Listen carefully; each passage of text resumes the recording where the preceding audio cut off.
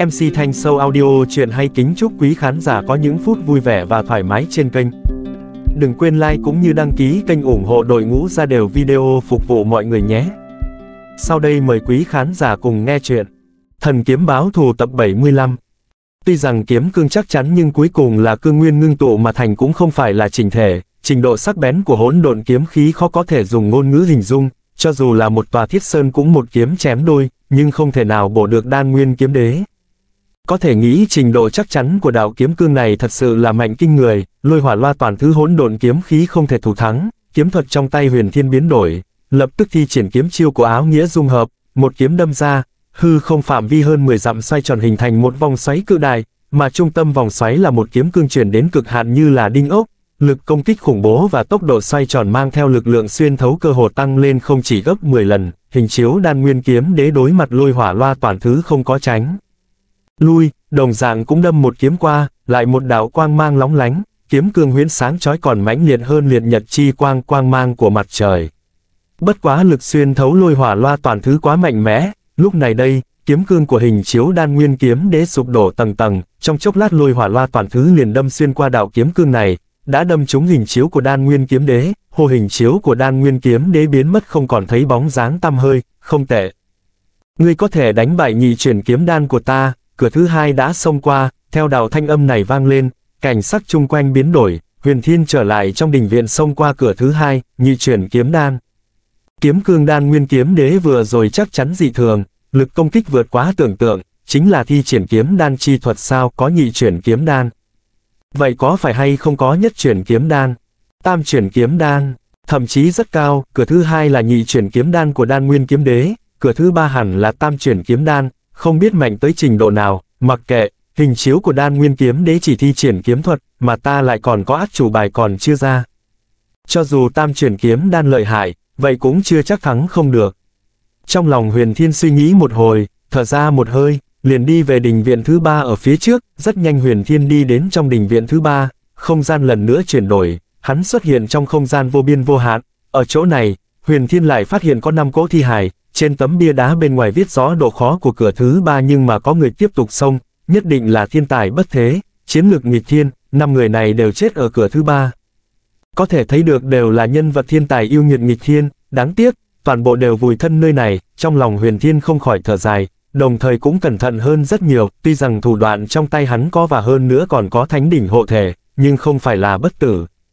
Hết thầy đều phải thật cẩn thận, nếu không chết ở đây thiên hạ không ai biết, sống uổng phí, có thể xông đến cửa thứ ba, vô cùng tốt. Chấm, thanh âm của đan nguyên kiếm đế vang lên, một hình chiếu xuất hiện phía trước huyền thiên mười dặm, lại là tu vi vương giả đỉnh phong đạt trình độ cao nhất nhưng mà khí tức tản mát ra làm cho trái huyền thiên đập tỉnh thịch. Huyền thiên chứng kiến không gian phía trước cơ hồ vặn vẹo xuất hiện từng đạo khe hở, đó là hiện tượng kiếm khí rất mạnh xuyên qua tạo thành, hình chiếu của đan nguyên kiếm đế vừa xuất hiện, dĩ nhiên lại có hiện tượng này.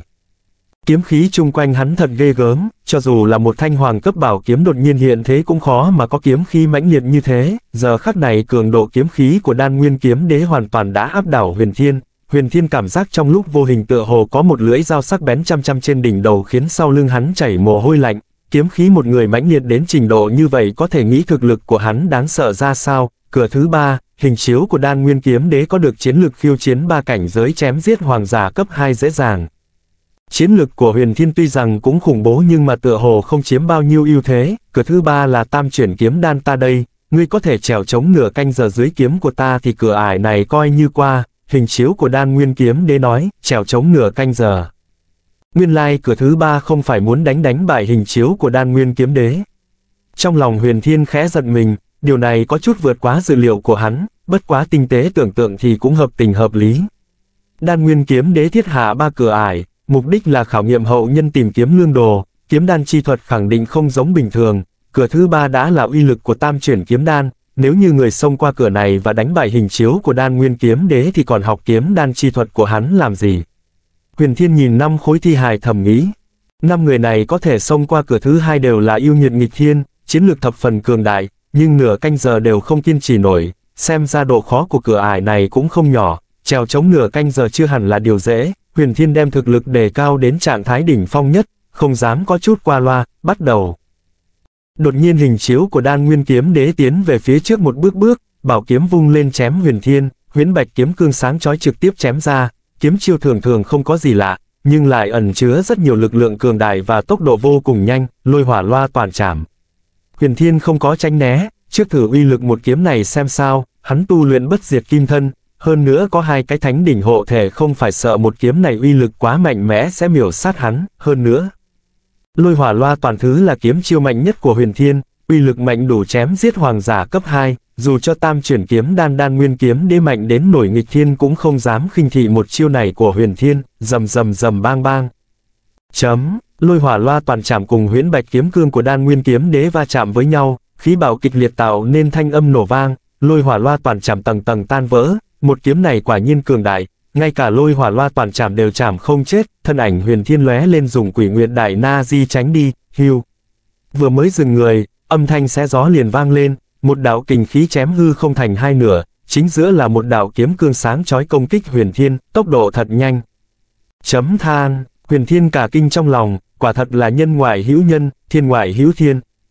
Chiến lực huyền thiên đủ cường đại rồi nhưng mà hình chiếu đan nguyên kiếm đế cùng cảnh giới với hắn nhưng lực là công kích còn mạnh hơn một bậc, đan nguyên kiếm đế không dùng công kích hoa mỹ, rất đơn giản chém xuống một kiếm. Rõ ràng là kiếm chiêu bình thường không có gì lạ thậm chí không phải kiếm chiêu, nhưng mà lực lượng kinh khủng kia cùng tốc độ khủng khiếp đều khiến cho mỗi một kiếm vô cùng đáng sợ, cho dù là hoàng giả cấp 2 cũng không đỡ nổi một kiếm này của hắn, tốc độ, lực lượng. Đây là hai nhân tố căn bản của chiến lực cường đại, có chúng thì chỉ cần chiêu số bình thường cũng có thể phát huy ra chiến lực không thể tưởng tượng nổi, bất diệt lôi kiếm huyền thiên đột nhiên chém xuống một kiếm. Siêu, xíu, siêu, xíu. Trong chốc lát bốn đạo kiếm cương bay ra, lại kiếm chiêu dung hợp áo nghĩa, uy lực thập phần cường đại, bất diệt thần lực cùng lôi chi áo nghĩa dung hợp, không chỉ có được lực lượng cuồng bạo của lôi chi áo nghĩa mà còn có hiệu quả kim cương bất hoại thần lực bất diệt, keng,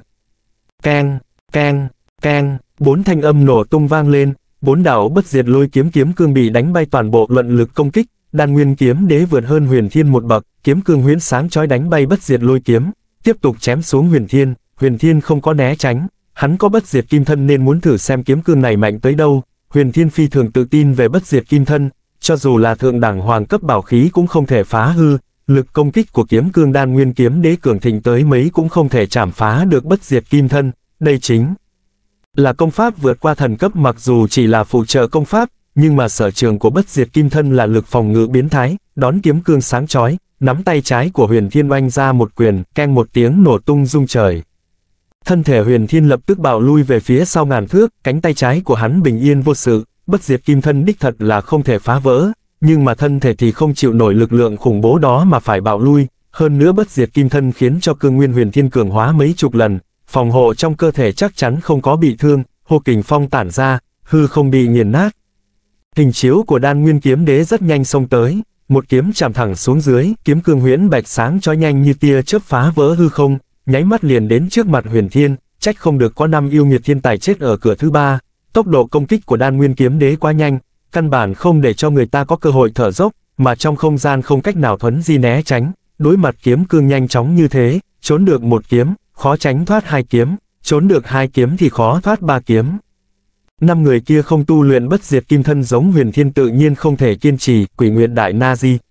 Thân thể huyền thiên xẹt qua một đường vòng cung đột nhiên xuất hiện ở bên trên 10 dặm tránh thoát một kiếm này của đan nguyên kiếm đế, hưu bên trong mi tâm của huyền thiên đột nhiên bảo xuất một đạo kiếm cương xoay tròn, trong chốc lát sinh ra vòng xoáy hơn 10 dặm, nguyên thần ngự kiếm thi triển lôi hỏa loa toàn thứ giết tới hình chiếu của đan nguyên kiếm đế, cùng lúc đó không khí tản ra hai bên.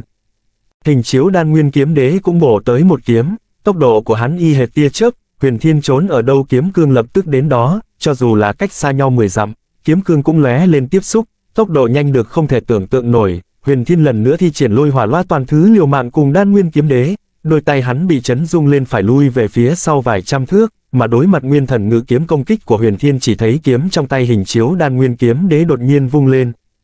Một đạo kiếm cương tựa như vòng tròn, đột nhiên từ dưới bắn lên chạm hoàng cấp linh kiếm. Keng, một tiếng nổ tung, hoàng cấp linh kiếm lập tức bị đánh bay, vèo hình chiếu của đan nguyên kiếm đế nhanh như quỷ mị vọt tới huyền thiên, bảo kiếm trong tay hắn đâm một cái về phía trước, một đạo quang mang biến lớn dần trong mắt huyền thiên, giống như, huyền thiên thi triển húc nhật đông thăng, tốc độ của một kiếm này đã đạt đến cực hạn, nhanh, nhanh, nhanh, huyền thiên cấp tốc né tránh sang một bên, tinh thần của hắn tập trung cao độ trước nay chưa có. Hắn lập tức xẹt qua hư không, trong chốc lát cảm thấy không khí lưu động, ken một tiếng nổ tung, trên cánh tay huyền thiên truyền đến một cỗ lực lượng khổng lồ, huyền thiên lập tức bảo phi ngoài ngàn mét, vẫn không đủ nhanh không hoàn toàn tránh được một kiếm này, thân thể né được nhưng cánh tay vẫn bị đánh trúng, kim thủ huyền thiên có một vết bạch ngâm có thể thấy được lực lượng xuyên thấu của một kiếm kia, hưu. Một kích của đan nguyên kiếm đế không tạo thành hiệu quả, thân hình hắn xông tới bên cạnh huyền thiên. Trong chốc lát trở tay một kiếm chém tới huyền thiên, gió huyền thiên vừa mới cảm giác được một tia gió lưu động, lúc này đây đối mặt công kích của đan nguyên kiếm đế, hắn vẫn phải né tránh. Lúc này đây cảm giác gió lưu động trong đầu huyền thiên vô cùng rõ ràng, ngộ tính của hắn rất cai, một khi có chỗ cảm ngộ, rất nhanh liền có thành tựu, kiếm cương lướt qua thân thể của huyền thiên, huyền thiên như là một trận gió bay bổng tránh thoát, thì ra là thế. Huyền thiên mừng rỡ trong lòng, hắn tu luyện tìm hiểu quỷ nguyệt đại na-di, tốc độ tăng lên thật nhanh ẩn chứa đạo, tác dụng vô cùng lớn đối với huyền thiên, dưới tình huống khẩn yếu quan đầu tình trạng nguy cấp huyền thiên lĩnh ngộ phong chân đế. Có quan hệ rất lớn cùng tìm hiểu quỷ nguyệt đại nazi phong chân đế phải là phong áo nghĩa, tính ra chỉ là một loại thuộc về phong áo nghĩa, xem như một trong những đặc tính của gió, lĩnh ngộ phong áo nghĩa không nhất định sẽ lĩnh ngộ phong chân đế, ngược lại lĩnh ngộ phong chân đế cũng chưa chắc khắc sâu lĩnh ngộ phong áo nghĩa, vô luận tốc độ nhanh đến cỡ nào sẽ sinh ra không khí lưu động, mà không khí lưu động, chính là gió, một người xuất kiếm nhanh thế nào đi nữa cũng khó có thể chém trúng gió, bởi vì thời điểm ngươi xuất kiếm cần ngươi khẽ động. Sẽ sinh ra khí lưu mới, tốc độ của khí lưu này vĩnh viễn nhanh hơn tốc độ ngươi xuất kiếm, đó là phong chân đế. Sở dĩ không nói là phong áo nghĩa, bởi vì phong áo nghĩa phi thường toàn diện. Lĩnh ngộ phong áo nghĩa chính là toàn bộ phương diện tốc độ cùng với lực lượng công kích, mà phong chân đế lại chỉ là một ít điểm đặc tính, chỉ né tránh trong phạm vi nhỏ mà thôi, hưu. Hưu, hình chiếu của đan nguyên kiếm đế đánh ra một kiếm lại một kiếm hoặc bổ hoặc đâm hoặc trêu chọc hoặc quét. Tốc độ nhanh không thể tưởng tượng nổi, lực công kích nghe giận cả người, nhưng mà huyền thiên lại như lá trong gió, kiếm cương vượt tới, hắn liền phiêu đáng, kiếm cương sát qua bên người, không có dựa vào bất diệt kim thân, không có dựa vào hai cái thánh đỉnh, huyền thiên chỉ dựa vào lĩnh ngộ phong chân đế đã tránh khỏi công kích của đan nguyên kiếm đế, hơn nữa một kiếm này của đan nguyên kiếm đế nhanh hơn kiếm trước khiến cho huyền thiên lĩnh ngộ phong chân đế càng ngày càng khắc sâu. Thân thể của hắn tựa hồ hóa thành một trận gió dung hợp cùng một chỗ với không khí, tuy hai mà một, rất nhanh, nửa canh giờ đi qua, đan nguyên kiếm đế không thể đâm trúng huyền thiên một kiếm, nửa canh giờ vừa đến, đan nguyên kiếm đế hình chiếu lập tức thu tay lại, trên mặt lộ ra vui vẻ, nói, rất tốt, rất tốt, rất tốt, ngươi là người đầu tiên trong một vạn tám ngàn năm qua sông qua ba ải, có thể đạt được truyền thừa kiếm đan chi thuật của bổn đế, kiếm đan chi thuật của bổn đế chính là kiếm thuật công kích đệ nhất, nhưng chỉ có cường đại lực công kích không được, còn cần có tốc độ nhanh, vì thế cửa thứ ba chính thức khảo nghiệm là tốc độ của ngươi, chỉ có lĩnh mộ phong chân đế, mới có thể tránh né công kích ta nửa canh giờ, nếu không cảnh giới giống nhau không có bất kỳ lực công kích của người nào có thể vượt kiếm đan chi thuật của bổn đế, xông qua ba cửa ải. Ngươi chính là đệ tử đan nguyên kiếm đế ta, tiến vào đế phủ đạt được truyền thừa bổn đế. Tầng thứ nhất có bí kíp tu luyện trước tam chuyển kiếm đan chi thuật, tầng thứ hai có bí kíp tu luyện tam chuyển kiếm đan chi thuật, tầng thứ ba có bí kíp tu luyện sau tam chuyển kiếm đan chi thuật. Chỉ có tu luyện kiếm đan chi thuật tới đệ tam chuyển mới có tư cách tiến vào tầng thứ hai, đạt được bí kíp tu luyện tam chuyển. Tu luyện tới thứ sáu chuyển mới có thể tiến vào tầng thứ ba đạt được bí kíp tu luyện sau tam chuyển, đồ nhi, nếu ngươi có thể tu luyện tới cửu chuyển kiếm đan, không chỉ tung hoành thế gian ba nghìn giới, phi thăng thành thần cũng rất có hy vọng, bất quá kiếm đan chi thuật tu luyện độ khó rất lớn, cần ngộ tính cực cao cùng đại lượng linh khí. Cơ duyên này ngươi phải siêng năng tu luyện, không được cho rằng số mệnh gia thân được lười biếng, không cố gắng, không thành thần. Nhớ lấy, nhớ lấy, nói xong, hình chiếu của đan nguyên kiếm đế biến mất không thấy gì nữa, hình ảnh bốn phía huyền thiên biến đổi trở lại đình viện, thành công. Huyền thiên thở phào một hơi, trên mặt lộ vẻ vui sướng, đan nguyên kiếm đế dĩ nhiên là một vạn tám ngàn năm trước đã phi thăng thành thần, thời gian đúng là quá lâu, ngay cả thời đại thượng cổ chấm dứt cũng chỉ là vạn năm trước mà thôi, thời điểm đan nguyên kiếm đế thành thần còn sớm hơn thời đại thượng cổ chấm dứt 8.000 năm, đan nguyên kiếm đế hoàn toàn có thể được xưng tụng là lão ngoan đồng. Khả năng còn lớn tuổi hơn cả thời đại của thiên thần, xông qua ba cửa ải, huyền thiên được đan nguyên kiếm đế thu làm đệ tử, ngày nay đan nguyên kiếm đế đã sớm đi thần giới. Đan nguyên đế phủ có thể xem như vật của huyền thiên, phía trước huyền thiên chính là cung điện ba tầng, mỗi một tầng đều cao chừng ba trượng, bề rộng chừng 6 trượng, phía trên đại môn có một cái biển ghi bốn chữ đan nguyên đế phủ, cung điện ba tầng này mới thực sự là đan nguyên đế phủ, huyền thiên cất bước về phía trước, rất nhanh đi vào phía dưới dẹp, cửa vào đang đóng két. Huyền thiên vừa mới đi đến trước cửa, cao tới hai trượng đột nhiên mở ra, cùng nghênh tân chủ nhân. Một thanh âm từ trong cửa lớn truyền ra, có người. Huyền thiên lại càng hoảng sợ, đan nguyên kiếm đế đã phi, thăng một vạn tám ngàn năm, mà hắn là người thứ nhất xông qua ba cửa ải tiến vào bên trong đan nguyên đế phủ, nếu có người trong này thì chẳng phải là nhân vật trong một vạn tám ngàn năm trước sao. Kiếm linh chỉ có thể sống một ngàn năm, nhân vật một vạn tám ngàn năm trước.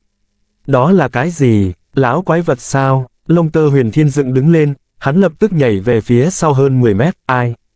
Huyền thiên trầm giọng nói, lá gan của hắn không nhỏ, nhưng vừa rồi lại càng hoảng sợ vì vượt qua dự liệu của hắn, lúc hắn kịp phản ứng dĩ nhiên không còn sợ nữa. Hắn đã trải qua khảo nghiệm của đan nguyên kiếm đế trở thành đệ tử của đan nguyên kiếm đế, là chủ nhân nơi này. Thanh âm mới rồi nói, cùng nghênh tân chủ nhân, tân chủ nhân hiển nhiên chính là huyền thiên hắn, người này là thuộc hạ của hắn, huyền thiên tự nhiên liền ổn định chấn động trong lòng, huyền thiên vừa mới nói xong, một thiếu niên mặc áo đen tuổi chừng 11-12 tuổi làn da ngăm đen từ bên trong đan nguyên đế phủ đi ra, thiếu niên mặc áo đen cúi đầu đối với huyền thiên, ta là nhất bảo đồng tử, nhất bảo đồng tử.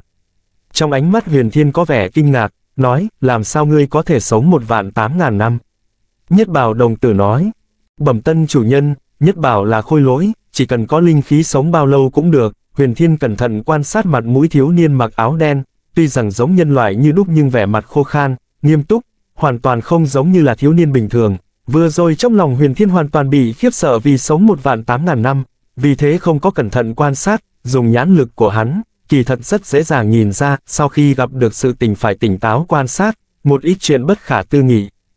Trên thực tế đều có một nguyên nhân đơn giản nhưng một khi kinh hoàng thì không thể phát hiện ra điều gì, huyền thiên âm thầm cảnh giới, huyền thiên cẩn thận quan sát nhất bảo đồng tử, này mới phát hiện nhất bảo đồng tử thực lực thâm bất khả chắc, hơn xa mình, trong lòng huyền thiên chấn định nhưng vẫn cảm thấy kinh ngạc như trước, thời đại thượng cổ lại có thể làm ra khôi lỗi như vậy không chỉ nhìn bề ngoài giống người mà còn có trí khôn, điều này thật khó mà có được, sau này ta gọi ngươi là Nhất Bảo. Nhất Bảo, là đan nguyên kiếm đế chế tạo ra ngươi sao? Huyền Thiên hỏi, tân chủ nhân, lão chủ nhân là sư tôn của ngươi, ngươi không thể gọi thẳng tên của hắn, không có lễ phép. Nhất Bảo đồng tử nói, tuy rằng biết mình là đệ tử của đan nguyên kiếm đế nhưng không có trải qua bái sư, huyền thiên thật không có giác ngộ coi đan nguyên kiếm đế trở thành sư tôn, Bị Nhất Bảo đồng tử nhắc nhở, hắn ngượng ngùng cười cười, huyền thiên nói, Nhất Bảo, là sư tôn chế tạo ngươi sao? Nhất Bảo đồng tử lắc đầu, nói, không phải. Ta là khôi thần tông chế tạo. Nhưng mà lão chủ nhân đặt hàng, ta khi được chế tạo, lão chủ nhân đã luyện hóa được bổn mạng khôi lỗi thạch của ta.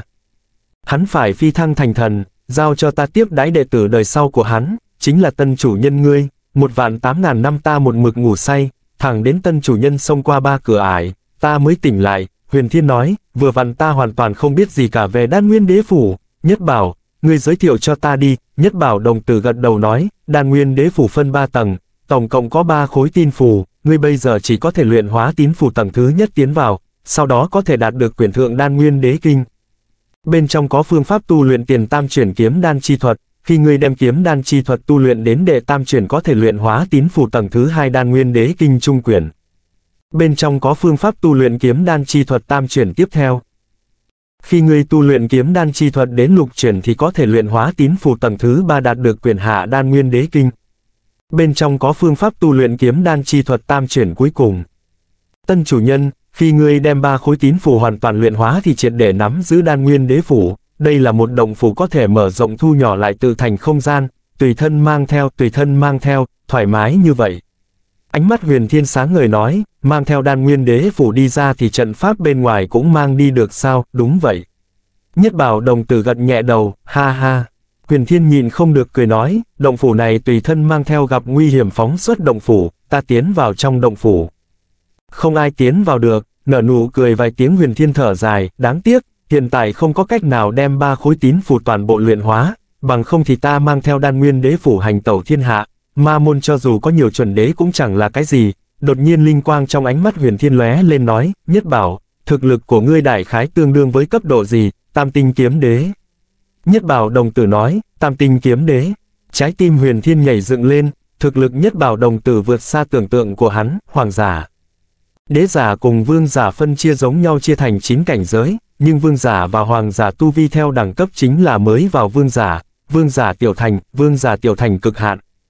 Mà hoàng giả dùng cấp 1, cấp 2, cấp 3, tới cửu cấp, về phần đế giả chính là nhất tinh, nhị tinh, tam tinh. Mãi cho đến cửu tinh, tu kiếm đạo bình thường xưng là kiếm đế, còn lại gọi chung là vũ đế, tam tinh kiếm đế chính là kiếm đế tiểu thành cực hạn. Thực lực của nhất bảo đồng tử có thể đơn giản quét ngang Vân Châu, diệt đi Vân Châu ma môn đều là chuyện dễ như trở bàn tay, trong lòng huyền thiên không khỏi nghĩ thầm nói, nếu đem nhất bảo ra ngoài thì con mẹ nó sợ Vân Châu ma môn cái rắm ta trực tiếp đi thiết ma thất tông bái phỏng, muốn cướp thánh đỉnh của ta hả? Ta giết cho sạch sẽ, lập tức, trên mặt huyền thiên lộ ra mỉm cười nhìn nhất bảo đồng tử, nói, nhất bảo a hát, chờ ta học được quyền thượng của đan nguyên đế kinh, ngươi theo ta đi bên ngoài đi một chút, được không nào?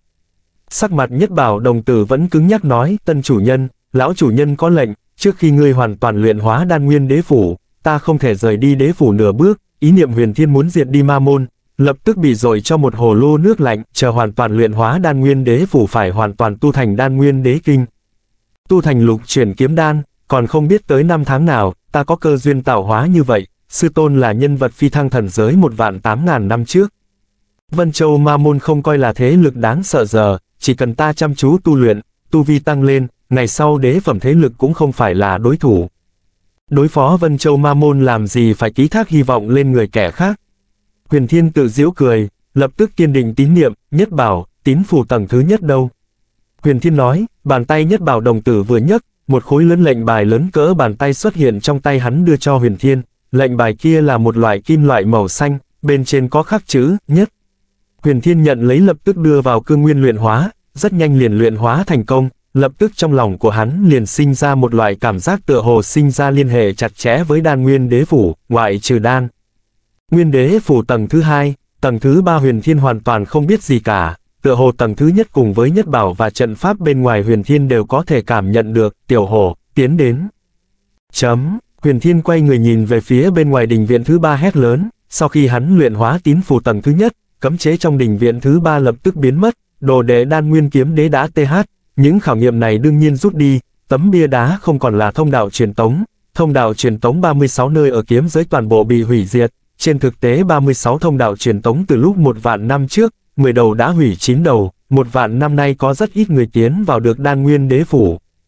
Giống, tiểu hổ đáp lại lại, rất nhanh liền vọt lên tiến đến, nhảy lên vai huyền thiên, nhất bảo đồng tử nhìn tiểu hổ với vẻ không quan tâm, hắn chỉ là khôi lỗi, chỉ có một chút trí tuệ không có tâm gì, tân chủ nhân mời.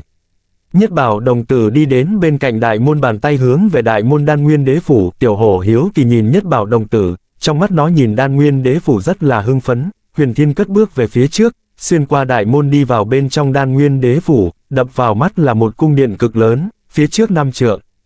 Trên vách tường có một bức tranh cao chừng một trượng, người trong bức họa phía sau lưng đeo kiếm mặc thanh sam, eo quấn đai lưng ngọc, đúng là đan nguyên kiếm đế, vẹn vẹn là bức họa, huyền thiên đều cảm giác được một cỗ ý chí kiếm đạo vô cùng đáng sợ, tân chủ nhân, trước làm lễ bái sư cho lão chủ nhân đi, nhất bảo đồng tử nói, đan nguyên đế kinh hiển nhiên là tâm huyết cả đời của đan nguyên kiếm đế, qua một vạn tám ngàn năm, hắn phi thăng thành thần cũng không tìm được một đồ đệ.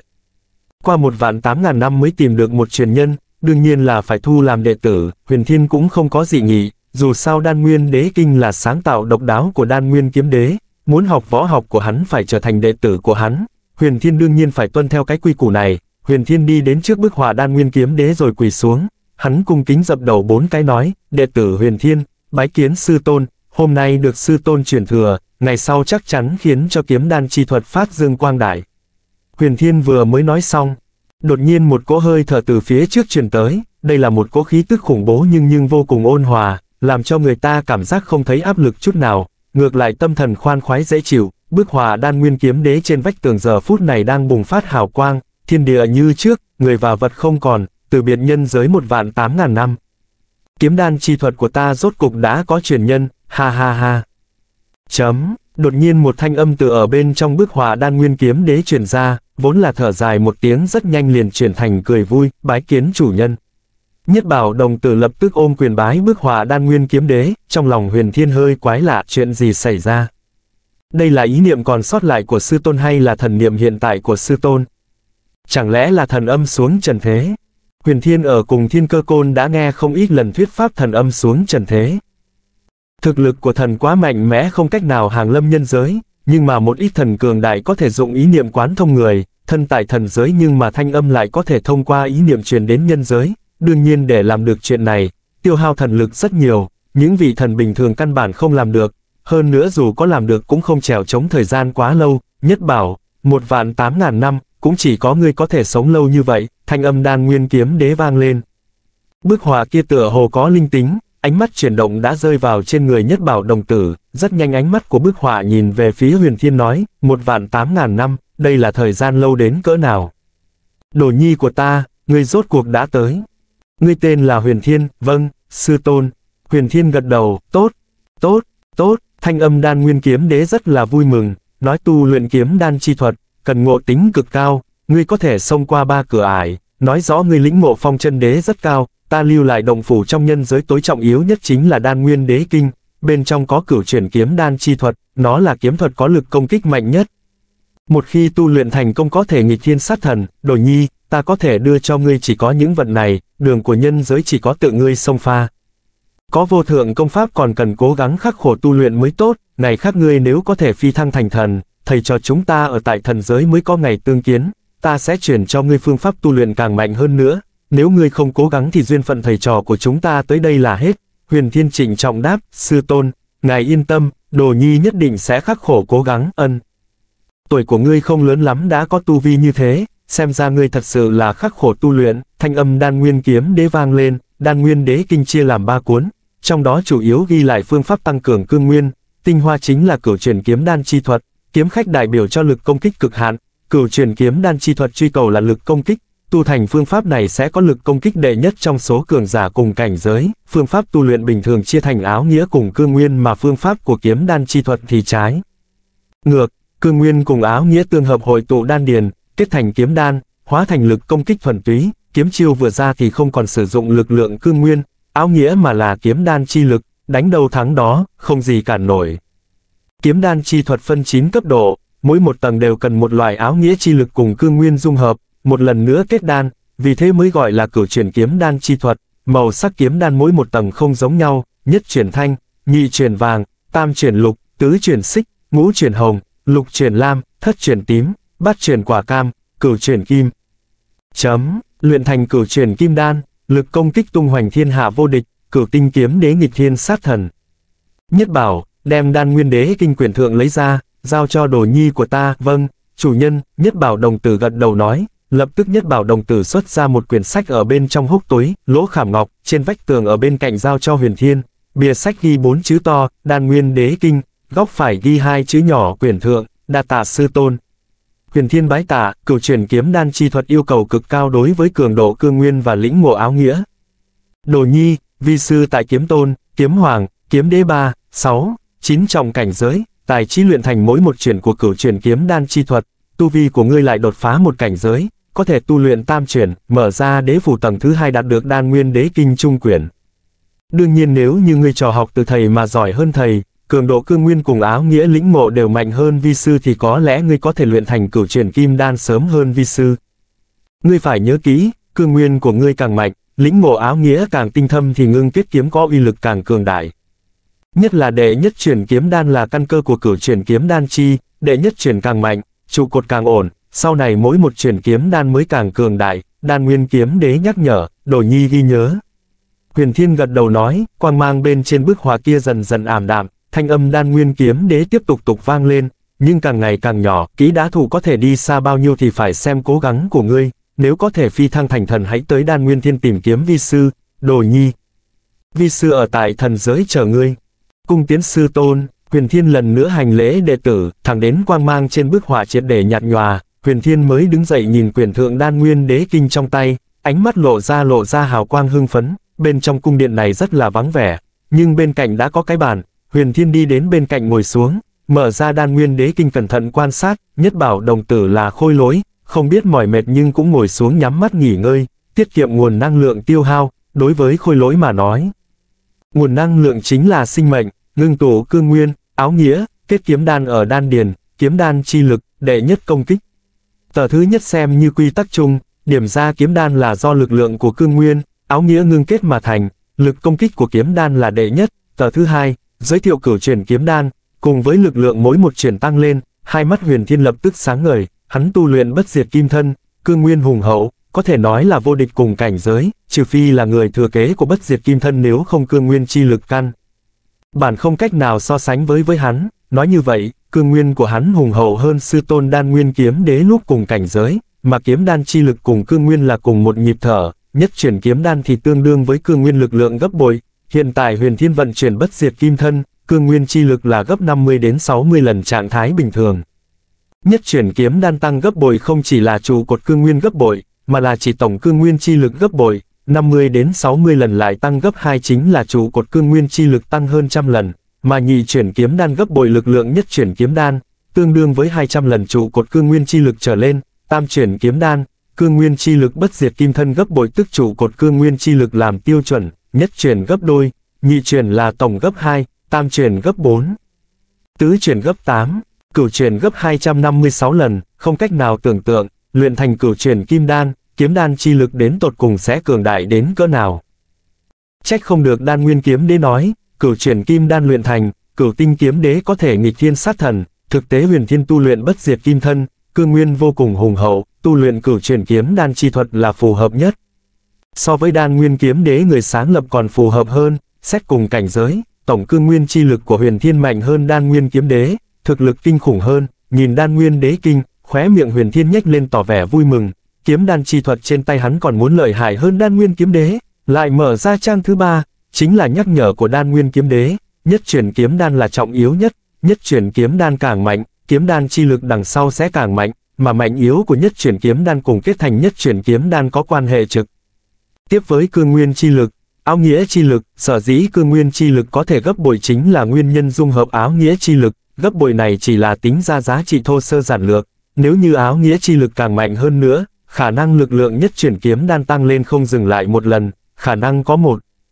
một, hoặc là một, hai, thậm chí là bội số rất cao, xem ra thời điểm kết nhất chuyển kiếm đan, tu vi càng cao càng tốt, trên lý luận mà nói, trở thành cửu tinh kiếm đế kết nhất chuyển kiếm đan thì trụ cột mạnh nhất, tu thành cửu chuyển kim đan sau này cũng có uy lực mạnh hơn, nhưng mà đã thành cửu tinh kiếm đế rồi, tu vi mạnh nhất nhân giới cuối cùng lại đến tu luyện cửu chuyển kiếm đan chi thuật thì đã quá muộn, hơn nữa, ai có nắm chắc ngày sau nhất định có thể trở thành cửu tinh kiếm đế. Vì thế lúc có thể tu luyện thì phải tu luyện tăng lên thực lực của mình. Hiện tại ta có thể tu luyện tới tam chuyển kiếm đan, dùng tu vi của ta bây giờ kết nhất chuyển kiếm đan, trụ cột có lẽ cũng rất mạnh rồi, bất quá nếu tu vi của ta đột phá lần nữa sẽ thành chuẩn hoàng, cương nguyên chi lực còn sẽ cường đại hơn, lĩnh ngộ áo nghĩa cũng có thể tăng thêm một tầng kết ra nhất chuyển kiếm đan càng cường đại hơn. Trong lòng huyền thiên cân nhắc một hồi, quyết định vẫn để tu vi đột phá rồi làm trụ cột tu luyện kiếm đan chi thuật, tu vi của hắn đã củng cố phải cần tích lũy năng lượng. Mà hắn có đại lượng dược vương, dược đồng, dược tinh. Bên trong có linh thảo chữa thương, có linh thảo là giải độc, hiệu quả không đồng nhất, nhưng mà có thể trực tiếp tăng lên tu vi chuyển hóa thành năng lượng linh thảo số lượng cũng không ít, chỉ ít có một phần ba, lợi dụng chúng để trực tiếp chuyển hóa năng lượng linh thảo, huyền thiên có thể rất nhanh đột phá tu vi, mà lính ngộ áo nghĩa của hắn đã sớm bước chân vào hoàng giả chi cảnh, vì thế linh thân vừa đến tam giai cực hạn chính là chuẩn hoàng, ở bên trong đan nguyên đế phủ tu luyện không người nào quấy dày. Không cần nóng lòng, huyền thiên hiện tại hứng thú tiếp tục quan sát phía trên đan nguyên đế kinh bị ảo diệu của kiếm đan chi thuật hấp dẫn, huyền thiên chuyên tâm quan sát đan nguyên đế kinh, thời gian chậm rãi trôi qua, tiểu hổ ngồi ở trên vai hắn nhàm chán nhảy xuống đi ra bên ngoài đế phủ, nô hít một hơi thật dài, thiên địa linh khí tại đây rất nồng đậm, nó đã bắt đầu tu luyện, trọn vẹn qua một canh giờ, huyền thiên mới xem hết quyển thượng đan nguyên đế kinh tỉnh lại từ trong thế giới của sách, toàn tâm đầu nhập so với đọc sách tùy ý hoàn toàn là hai loại trạng thái bất đồng. Thời gian giống nhau thì người phía trước có thể sẽ đạt được thu hoạch gấp 10 lần người thứ hai, huyền thiên nhìn lại lập tức có chút tâm đắc, hắn khắc sâu tu luyện trước tam chuyển kiếm đan chi thuật vào đầu khó. Khó, khó, trong lòng huyền thiên thở dài, sau khi xem hắn mới biết được cửu chuyển kiếm đan chi thuật tu luyện khó như thế nào, đầu tiên là yêu cầu cao đối với cương nguyên cực kỳ thâm hậu, lĩnh ngộ áo nghĩa cũng phải vô cùng tinh thâm, nhất chuyển kiếm đan, lĩnh ngộ áo nghĩa thấp nhất cũng phải đạt tới nhị giai sơ kỳ, mà cường độ cương nguyên phải đạt tới cảnh giới vương giả đại thành bình thường, vẹn vẹn là nhất chuyển kiếm đan đã có yêu cầu cao như thế, vì vậy không phải là thiên tài, cho dù có phương pháp tu luyện kiếm đan chi thuật cũng không cách nào luyện thành cửu chuyển kim đan, đan nguyên. Kiếm đế thu đệ tử, đương nhiên là muốn thu người có thể luyện thành cửu truyền kim đan, ngay cả hy vọng trên lý luận luyện thành cửu truyền kim đan cũng không, đệ tử như vậy hắn đương nhiên sẽ không thu, vì thế đến lúc hắn phi thăng thành thần đều không tìm được truyền nhân phù hợp, ngoại trừ yêu cầu cao, thứ nhì là tu luyện khó, cương nguyên vũ giả vì sao có thể hùng hậu. Nhất là bước vào vương giả cảnh mỗi khi tăng lên một cảnh giới, cương nguyên tăng lên gấp mấy lần không chỉ toàn bộ đan điền đều tràn ra mà tất cả đường kinh mạch toàn thân. Các nơi tế bào ẩn chứa lực lượng cương nguyên không chỗ nào không có, muốn đem sở hữu cương nguyên toàn bộ áp xúc đến đan điền, ngưng tụ thành một thanh kiếm, tuyệt không phải chuyện dễ, hơn nữa cương nguyên cường thịnh tới thế nào cũng chỉ là khí. Muốn kết thành kiếm đan thể rắn thật sự, trong người ngưng khí thành đan cần áp xúc rất lớn, một phương diện muốn bảo trì cương nguyên sung túc, một phương diện khác lại phải áp chế được. Điều này liên quan tới sức mạnh áo nghĩa nhất định phải có lực lượng áo nghĩa và cương nguyên cùng dung hợp mới có thể áp chế được, không đến mức lúc áp xúc không thể khống chế mà bảo tạc, cương nguyên áp xúc được càng cứng lại, nguy hiểm bạo tẩu càng lớn nhất là thời điểm sắp thành kiếm đan, cương nguyên toàn thân ngưng kết thành một khối, lúc này nếu bảo tạc chỉ sợ sẽ trực tiếp tan thành xác pháo, cương nguyên trong cơ thể tự bảo có uy lực cực mạnh nhất định sẽ nổ tới hài cốt không còn, may mắn huyền thiên lĩnh ngộ áo nghĩa một con đường này vượt xa tu vi linh thân, tuy rằng tu luyện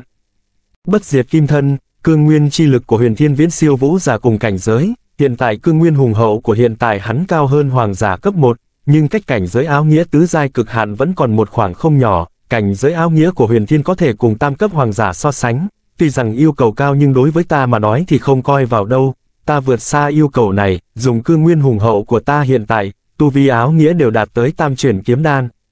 Mấu chốt là độ khó ngưng kết kiếm đan, may mắn lĩnh ngộ áo nghĩa của ta cực cao, khó có thể giảm xuống hơn nữa cũng an toàn hơn nhiều, khóe miệng huyền thiên lộ ra sự vui vẻ. Cửu truyền kiếm đan chi thuật đối với đại bộ phận thiên tài đều là công pháp khó như lên trời nhưng đối với huyền thiên mà nói, lại quá phù hợp, hay là trước đem tu vi tăng lên tới chuẩn hoàng cảnh giới, nhiều linh thảo như vậy đầy đủ cho ta đột phá tu vi rất nhanh, huyền thiên vung tay lên, hỗn độn thánh đỉnh xuất hiện phía trước, tay kia vừa nhấc liền có một cây linh thảo xuất hiện trong tay hắn.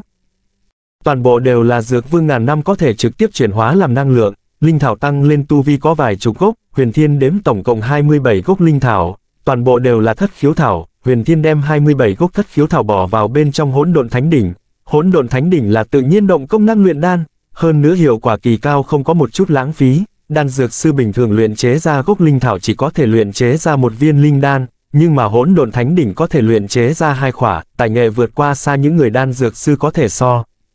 Sánh, rất nhanh 27 gốc thất khiếu thảo toàn bộ bị luyện hóa, bên trong hỗn độn thánh đỉnh nhiều ra 54 viên đan dược màu xanh bằng ngón cái. Hàm lượng linh khí kinh người so với thượng phẩm linh thạch còn hơn nghìn lần, vạn lần, không biết ẩn chứa bên trong bao nhiêu linh khí, đây là thất khiếu đan, hỗn độn thánh đỉnh quả nhiên là một gốc linh thảo tạo ra hai khỏa đan dược, thu hoạch gấp đôi, thất khiếu đan tại Thiên Châu, Trung Châu cực kỳ hiếm thấy, một viên thất khiếu đan thì có thể làm cho tu vi mới vào vương giả tăng lên tới vương giả tiểu thành, ba viên thất khiếu đan đủ để cho vương giả tiểu thành tăng lên tới vương giả tiểu thành cực hạn, trên lý luận mà nói. Chỉ cần có đầy đủ thất khiếu đan tại vương giả cảnh cơ hồ không có bình cảnh, tu vi củng cố có thể mượn thất khiếu đan rất nhanh đột phá tu vi, nhưng chỉ là lý luận mà thôi, ngàn năm dược vương có thể ngộ nhưng không thể cầu, cho dù là hoàng phẩm thế lực đạt trình độ cao nhất cũng rất khó đạt được ngàn năm thất khiếu thảo. Huyền Thiên đem 54 viên thất khiếu đan ra cho vào trong chai, tay vừa nhấc lại là một thất khiếu thảo dược vương ném vào bên trong hỗn độn thánh đỉnh, tu vi hiện tại của huyền thiên. Ngàn năm thất khiếu đan không phải 2.000 năm, thậm chí là 3.000 năm thì hiệu quả linh đan luyện thành không có hiệu quả lớn. Dù sao dược vương ngàn năm nhiều hiệu quả thấp, huyền thiên dùng linh thảo 2.000 năm luyện chế thành linh đan, đối với hắn thành hoàng giả đều có trợ giúp rất lớn. Về phần dược tinh 3.000 năm càng có hiệu quả lớn với huyền thiên, ở trên đảo, huyền thiên hái rất nhiều thất khiếu thảo, hiện tại ném từng cây từng cây vào trong hỗn độn thánh đỉnh luyện chế thành thất khiếu đan, cũng không lâu lắm, huyền thiên đã luyện ra hơn 700 viên thất khiếu đan đầy hơn 10 chai thuốc mới đình chỉ luyện đan thu hỗn độn thánh đỉnh lại. 10 viên không đủ, ta ăn 100 viên, trăm viên không đủ, ta ăn mấy trăm viên. Không thành hoàng giả cũng đem linh thân từ tam giai đỉnh phong tăng lên tới tam giai cực hạn, đã đủ rồi, huyền thiên xuất ra một chai thuốc thầm nghĩ, sau đó hắn mở nắp bình đổ ra 7 viên thất khiếu đan rồi há miệng đổ tất vào, giống như ăn kẹo nuốt xuống, thất khiếu đan vào thể nội, liền tự động hóa giải, linh khí bành trướng đến cực điểm tràn ra, mỗi một viên thất khiếu đan đều giống như một quả bom linh khí ẩn chứa đại lượng linh khí.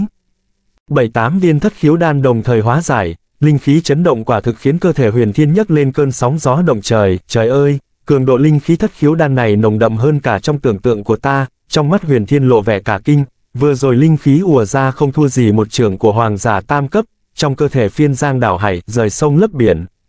Huyền thiên lập tức ngồi xuống, cương nguyên trong cơ thể lưu động, vận chuyển cứu cực dẫn tinh quyết, rất nhanh luyện hóa linh khí dược lực tầm bổ thân thể, cứu cực dẫn tinh quyết là đế cấp công pháp trí. Cao hơn nữa là thân thể, ý niệm song trọng tu luyện không những cảm ứng được ngôi sao lĩnh ngộ áo nghĩa huyền diệu, còn có thể hấp dẫn các loại tinh thần chi lực cường hóa thân thể. Hiện tại trong cơ thể huyền thiên có đại lượng linh khí không cần đi cảm ứng ngôi sao, cứu cực dẫn tinh quyết vẹn vẹn là tầm bổ thân thể, không công pháp nào có thể so sánh với nó. Huyền thiên sở tu công pháp bất diệt kim thân, đan nguyên đế kinh tuy rằng không thua gì cứu cực dẫn tinh quyết, nhưng cũng không chân chính là công pháp tu luyện mà chỉ là công pháp phụ trợ đề cao thực lực. Thời điểm chiến đấu tạo ra hiệu quả lớn, đối với tu luyện thì không bằng cứu cực dẫn tinh quyết rồi, giống như nhập định, huyền thiên ngồi ngay ngắn nhắm mắt nội thị, trong cơ thể linh khí như sông lớn lưu động tầm bổ thân thể, cường hóa cương nguyên, thời gian trôi qua, chờ huyền thiên mắt mở mắt, trời đã tối rồi, tám viên thất khiếu đan, huyền thiên trọn vẹn đã luyện hóa được một ngày, thời gian này, linh thân của huyền thiên được đại lượng linh khí tẩm bổ, tiến triển cực nhanh, cứ tiếp như thế chỉ cần tối đa một tháng. Linh thân sẽ từ tam giai đỉnh phong đột phá đến tam giai cực hạn, tu luyện phải kết hợp với nghỉ ngơi, huyền thiên nghỉ ngơi một đêm, sáng sớm ngày thứ hai, huyền thiên dậy thật sớm luyện kiếm ở trên đảo. Dùng tu vi của hắn hôm nay húc nhật thuấn sát kiếm đủ tu luyện tới thức thứ năm rồi, kết kiếm đan cần một kiếm tâm, đối với tu luyện kiếm đạo là trọng yếu nhất, hơn nữa tu luyện thân thể cũng phải chú ý động tính kết hợp, thời điểm luyện kiếm toàn thân phải vận động, một mực bất động thì không có gì tiêu hao, thân thể ở trạng thái bão hòa, lúc này dùng linh khí tầm bổ hiệu quả không lớn, nhưng nếu là vận động kịch liệt, năng lượng bên trong tế bào bị tiêu hao đến gần hết thì dùng linh khí tầm bổ, thân thể giống như là quỷ đói hấp thu không ngừng bổ sung thân thể tế bào. Trong lúc chút bất chi bất giác liền dần dần cường hóa, tu luyện làm chơi ăn thật, tu luyện suốt hai canh giờ, huyền thiên mồ hôi rơi như mưa mới dừng lại, lại ăn 8 viên thất khiếu đan, tiếp tục luyện hóa, quả nhiên dùng tu vi thiên giai cảnh bát trọng ăn thất khiếu đan toàn thân vô cùng khoan khoái dễ chịu, tốc độ hấp thu linh khí cũng nhanh hơn hôm qua rất nhiều, mỗi ngày huyền thiên sáng sớm luyện kiếm hai canh giờ, sau đó ăn đại lượng thất khiếu đan rất nhanh luyện hóa linh khí, tầm bổ linh thân, linh thân mỗi ngày đều rất nhanh phát triển cường hóa, ngày qua ngày như thế. Rốt cục, 27 ngày sau đó, linh thân huyền thiên cường hóa đến trình độ nhất định dẫn tới chất biến hóa, tu vi linh thân từ tam giai đỉnh phong đột phá đến tam giai cực hạn, tu vi huyền thiên đột phá bởi vì tu vi áo nghĩa sớm đột phá tứ giai vì thế bước qua vương giả đạt trình độ cao nhất chính là chuẩn hoàng, hơn nữa là chuẩn hoàng đã cường đại đến cực hạn, ầm ầm. Tu vi huyền thiên đột phá, phía trên vòm trời lập tức có lôi âm cuồn cuộn dựng lên, trên không đan nguyên đế phủ xuất hiện cái vòng xoáy lôi điện cự đại. Thiên kiếp lần thứ 9 của vương giả cảnh tiến đến rồi, huyền thiên lập tức ra khỏi đan nguyên đế phủ, đi tới bên trên sườn núi nhỏ ở một nơi trống trải trên đảo, lôi kiếp đánh xuống sẽ đánh nát hết thảy mọi thứ, đan nguyên đế phủ hiển nhiên không phải tồn tại tự nhiên, trận pháp cấm chế bên ngoài đảo nhỏ cũng không phải tồn tại tự nhiên. Nhưng mà đảo nhỏ hình tròn phạm vi 200 dặm thì tự nhiên tồn tại, chỉ là bị đan nguyên kiếm đế lột bỏ một bộ phận quy tắc trở thành một hình tròn hoàn mỹ, độ kiếp ở trên đảo tự nhiên không sẽ phá hư đan nguyên đế phủ, cũng sẽ không phá hư trận pháp cấm chế bên ngoài, tuy rằng đem ngự lôi châu đưa cho huyền đình đình, nhưng trên người huyền thiên vẫn còn lôi thánh đỉnh, độ kiếp lôi đối với hắn mà nói dễ như ăn kẹo, huyền thiên coi trọng là tìm hiểu lôi chi áo nghĩa bên trong lôi kiếp, tuy rằng lôi chi áo nghĩa bên trong lôi thánh đỉnh không thua gì áo nghĩa bên trong lôi kiếp nhưng mà lôi chi áo nghĩa bên trong lôi thánh đỉnh tương đối bình thản, mà lôi chi áo nghĩa bên trong lôi kiếp đặc biệt cuồng bạo, sinh động, rất dễ dàng chuyển hóa, vì thế lĩnh ngộ lôi chi áo nghĩa bên trong lôi kiếp tốc độ nhanh hơn bình thường nhiều lắm. Ở trên đảo, Huyền Thiên đang độ kiếp tìm hiểu lôi chi áo nghĩa, nhất bảo đồng tử đứng xa xa nhìn, tiểu hổ cũng bay vào bên trong lôi kiếp. Nó không uy lực của sợ sấm chút nào, ngược lại hấp thu lực lượng lôi kiếp cường hóa thân thể, bên ngoài cấm chế trận pháp đan nguyên đế phủ có thật nhiều yêu tộc, ma môn cường giả bao quanh bốn phương tám hướng, nhân số không dưới ngàn người, đại đa số là vương giả, nhưng cũng có không ít hoàng giả, trong đó cao thủ thậm chí có hoàng giả tứ cấp, ngay cả ngũ cấp hoàng giả có mấy cái, người cầm đầu là một vị lục cấp hoàng giả, những hoàng giả này đều là từ thiết mộc ma tông mà đến, tung tích hạ lạc của huyền thiên bị phát hiện. Thiếu chủ thiết mộc ma tông phiền thiếu tiêu bị chém giết, một tháng đi qua, việc này đã chấn kinh thiên hạ, biết được huyền thiên tiến nhập đan nguyên đế phủ, thiết mộc ma tông lập tức phái ra đại lượng cường giả vây quanh bên ngoài đan nguyên đế phủ chật như nêm cối, bất kể huyền thiên đi ra từ nơi nào đều bị phát hiện một cách nhanh nhất, có tứ cấp, ngũ cấp, lục cấp hoàng giả ở đây, huyền thiên vừa hiện thân mà muốn chạy trốn thì còn khó hơn lên trời, đan nguyên đế phủ là cấm địa, không có ai tin tưởng huyền thiên sẽ ở bên trong bao lâu, ba ngàn năm trước. Yêu đế chỉ miễn cưỡng xông qua cấm chế bên ngoài, nghe nói bên trong còn có lực lượng đáng sợ đẩy hắn đi ra, hiển nhiên, không có bất kỳ người ngờ tới. Huyền Thiên tiến vào đan nguyên đế phủ lấy được truyền thừa của đan nguyên kiếm đế trở thành đệ tử của đan nguyên kiếm đế và chủ nhân của đan nguyên đế phủ. Chỉ cần huyền thiên nguyện ý, hắn ở bên trong đan nguyên đế phủ bao lâu cũng không có vấn đề gì. Thiên kiếp thứ 9 của huyền thiên đặc biệt to lớn, vòng xoáy lôi điện trên không trung làm cho người ta sợ hãi, nhưng mà cường giả bên ngoài đan nguyên đế phủ thì không thể cảm ứng. Được một chút nào, cấm chế trận pháp phía trước che giấu hết thảy tin tức bên trong, vô luận là thanh âm hay là hình ảnh, người ở phía ngoài nghe không được nhìn không tới, đám người chỉ thấy phía trước là một hòn đảo hình tròn, giống như đúc hình dạng cùng đảo nhỏ bên trong giống như đúc nhưng chỉ là ao ảnh, lôi kiếp rằng co suốt một canh giờ, huyền thiên hết sức chăm chú, toàn tâm toàn ý tìm hiểu lôi chi áo nghĩa, quả nhiên có chỗ đột phá, vượt qua lôi kiếp, lôi chi áo nghĩa thành công đột phá đến ngũ giai sơ kỳ, lôi đỉnh kiếm hồn tiến hóa thành lôi đỉnh nguyên thần tựa hồ đối với. Tốc độ lĩnh ngộ lôi chi áo nghĩa nhanh hơn, thân là hình thái tinh thần cao tầng thứ, nguyên thần từ mọi phương diện đều siêu việt hơn linh hồn, lúc này trong lôi kiếp, tiểu hổ cũng đã lấy được thu hoạch cực lớn. Trời xanh nó hấp thu lôi điện, cho dù là lôi kiếp qua đi, lôi quang điện thiểm vẫn lóe lên trên người nó, tồn chữ lôi đỉnh chi lực còn có thể đủ nó luyện hóa hồi lâu, lôi chi áo nghĩa đạt đến ngũ giai sơ kỳ, nhưng mà, nếu bàn về mạnh yếu áo nghĩa hiển nhiên là hỗn độn áo nghĩa thứ nhất, nếu như hỗn độn áo nghĩa cũng lĩnh ngộ đến ngũ giai sơ kỳ, khẳng định càng cường đại hơn lôi chi áo nghĩa, nhất chuyển kiếm đan là căn cơ của cửu chuyển kiếm đan chi thuật, cương nguyên chi lực, áo nghĩa chi lực càng mạnh càng tốt. Dù sao ta ở chỗ này không người nào quấy giày, chuẩn bị tu luyện tới tam chuyển kiếm đan lại rời đi, không bằng trước tìm hiểu hỗn độn áo nghĩa, dùng ngũ giai sơ kỳ hỗn độn áo nghĩa cùng cương nguyên chi lực kết thành nhất chuyển kiếm đan tạo nên trụ cột tốt nhất, Huyền Thiên không có vội vã ngưng kết kiếm đan, mà là tiếp tục tìm hiểu hỗn độn áo nghĩa, hỗn độn áo nghĩa tại phàm giới không có chỗ có thể tìm hiểu, duy chỉ có ở bên trong hỗn độn thánh đỉnh có hỗn độn áo nghĩa mới làm được, hỗn độn thánh đỉnh trong người.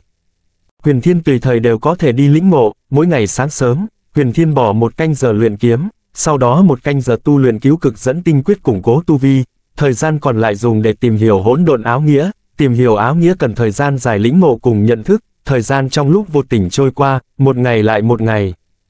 Gần hai tháng, rất nhanh liền đi qua, huyền thiên trải qua hai tháng tìm hiểu rốt cục đem hỗn độn áo nghĩa lĩnh ngộ đến ngũ giai sơ kỳ, tuy rằng hỗn độn áo nghĩa khó tìm hiểu nhất nhưng huyền thiên ngộ tính cao đến kinh người, hơn nữa có hỗn độn thánh đỉnh ở bên, hỗn độn chi khí bên trong dùng không hết, tuy rằng gần hai tháng không ngắn nhưng huyền thiên có thể làm được chuyện mà đồng lứa hậu bối khác không làm được, hỗn độn áo nghĩa cũng đạt tới ngũ giai sơ kỳ rồi, tu vi của ta đã củng cố, hơn nữa có đại lượng linh đan có thể bổ sung cương nguyên.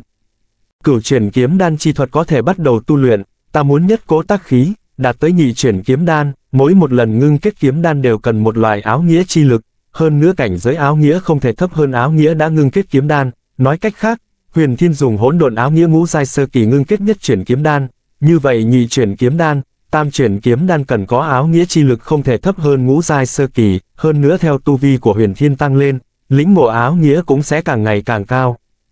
Sau khi ngưng kết kiếm đan, áo nghĩa chi lực cũng không thể thấp hơn cảnh giới của hỗn độn áo nghĩa, hiện tại hỗn độn áo nghĩa của Huyền Thiên, lôi chi áo nghĩa đều đạt đến ngũ giai sơ kỳ có thể tu luyện nhị chuyển kiếm đan, Huyền Thiên trở lại bên trong đan nguyên đế phủ bế quan tu luyện kiếm đan thuật, hắn ngồi ngay ngắn trong đại điện tầng thứ nhất, hai tay, hai chân hóa thành màu vàng kim, vận chuyển bất diệt kim thân, tu vi Huyền Thiên càng cao, hiệu quả bất diệt kim thân càng cường đại, linh thân cũng càng chắc chắn đến cảnh giới chuẩn hoàng vận chuyển bất diệt kim thân.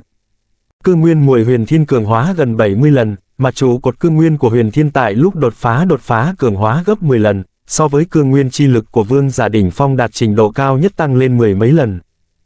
Hiện tại cương nguyên chi lực đều là chủ cột tu luyện kiếm đan thuật, nhất chuyển kiếm đan luyện thành, kiếm đan chi lực đem là tất cả cương nguyên chi lực tăng lên gấp 2, huyền thiên tĩnh tâm ổn định tâm thần, đóng chặt hai mắt, nội thị thân thể, vận chuyển phương pháp ngưng kết kiếm đan, cương nguyên trong cơ thể chậm rãi lưu động trong đan điền, đan điền là lực lượng chi nguyên của vũ giả, cương nguyên chỗ đó vô cùng hùng hậu, nhưng mà theo các nơi toàn thân các nơi toàn bộ hướng đan điền đè ép rất nhanh liền có cảm giác bành trướng, đại lượng cương nguyên tụ tập đan điền có một loại cảm giác muốn nổ tung đan điền, giờ phút này hỗn độn nguyên thần rũ lông mày huyền thiên chấn động, đại lượng hỗn độn áo nghĩa tuôn ra dọc theo kinh mạch mạch máu, rất nhanh liền đến các nơi trong thân thể cuối cùng cũng hồi tụ ở đan điền, cương nguyên bên trong đan điền và hỗn độn áo nghĩa dùng một loại phương thức kỳ diệu rất nhanh ngưng kết cùng một chỗ, mỗi một tia hỗn độn áo nghĩa đều có thể dung hợp đại lượng cương nguyên, mà đại lượng cương nguyên dung hợp cùng hỗn độn áo nghĩa từ trạng thái khí hóa thành trạng thái cố định. Thể tích rút nhỏ trăm ngàn lần, cũng không lâu lắm, trong đan điền của huyền thiên xuất hiện một điểm nhỏ hiện ra ánh sáng màu xanh, ánh sáng màu xanh thời gian dần qua từ một cái điểm nhỏ càng tụ càng nhiều, dần dần bắt đầu kéo dài, nếu là đem nó soi lên kính hiển vi ký thể thấy rõ là một thanh kiếm, kiếm khách có kiếm tâm, luyện kiếm luyện được thành thạo rồi, trong tay không có kiếm, trong lòng cũng có kiếm. Hỗn độn áo nghĩa cùng cương nguyên ngưng tụ mà hình thành chính là hình dạng kiếm tâm của kiếm khách, nếu không phải là người tinh thông kiếm đạo căn bản không cách nào tu luyện kiếm đan thuật, bởi vì không có kiếm tâm không ngưng tụ ra kiếm hình, cũng không có lực lượng của kiếm. Kiếm là chính trực, biểu tượng của sắc bén, đại biểu lực công kích cực trí, vì thế kết kiếm đan mới có lực công kích đệ nhất, hiện tại huyền thiên mới kết thành hình thức ban đầu của kiếm đan thì có một cố kiếm ý kinh thiên trong đan điển sinh ra, vẹn vẹn là một cố kiếm ý đã đủ để cho trong lòng vương giả rét run, phía sau lưng phát lạnh, áo nghĩa chi lực của huyền thiên rất cường đại, giờ phút này tác dụng cực lớn, áo nghĩa chi lực càng mạnh, không chỉ tốc độ ngưng kết kiếm đan càng nhanh mà quá trình cũng càng ổn định, huyền thiên ngưng tụ kiếm đan. Hết thảy giống như là nước chảy thành sông, điểm nhỏ màu xanh càng lúc càng lớn, thời gian dần qua biến thành một thanh tiểu kiếm mắt thường có thể thấy được, nhưng mà cương nguyên trong cơ thể huyền thiên vô cùng bành trướng, còn có tuyệt đại đa số cương nguyên tiếp tục dùng một loại phương thức kỳ diệu dung hợp cùng hỗn độn áo nghĩa, tiểu kiếm màu xanh càng lúc càng lớn, kiếm đan thuật là sáng tạo độc đáo của đan nguyên kiếm đế, lực công kích đệ nhất, đích thật là một loại võ học trí cao trên đời, huyền thiên đứng lên. Lực lượng áo nghĩa phóng đi về phía trước, không khí phía trước trong chốc lát tách ra hai bên tựa hồ có một chuôi vô hình chi kiếm chém ra. Dấu vết tan vỡ của hư không lao ra khỏi đan nguyên đế phủ hơn 10 dặm, trách không được hình chiếu của sư tôn vừa hiện, kiếm khí kia mạnh như vậy, thì ra là khí tức sắc bén của kiếm đan, loại lực lượng này quả thực là một loại áo nghĩa, được xưng tụng là kiếm chi áo nghĩa. Quá đáng sợ, vẹn vẹn là khí tức đã có được trình độ như vậy, một kiếm chém ra, kiếm cương kia sẽ tạo nên uy lực ra sao. Trong lòng huyền thiên sợ hãi thán phục, hiện tại hắn mới tu luyện đến nhất chuyển kiếm đan, kiếm đan chi lực có cương nguyên chi lực tăng gấp 2, còn kém ngũ giai sơ kỳ áo nghĩa chi lực của hắn, hiện tại áo nghĩa chi lực của huyền thiên chém giết tam cấp hoàng giả đã không khó, tứ cấp hoàng giả đều có thể chống lại, kiếm đan chi lực không bằng tam cấp hoàng giả, nhưng mà nếu như huyền thiên luyện thành nhị chuyển kiếm đan,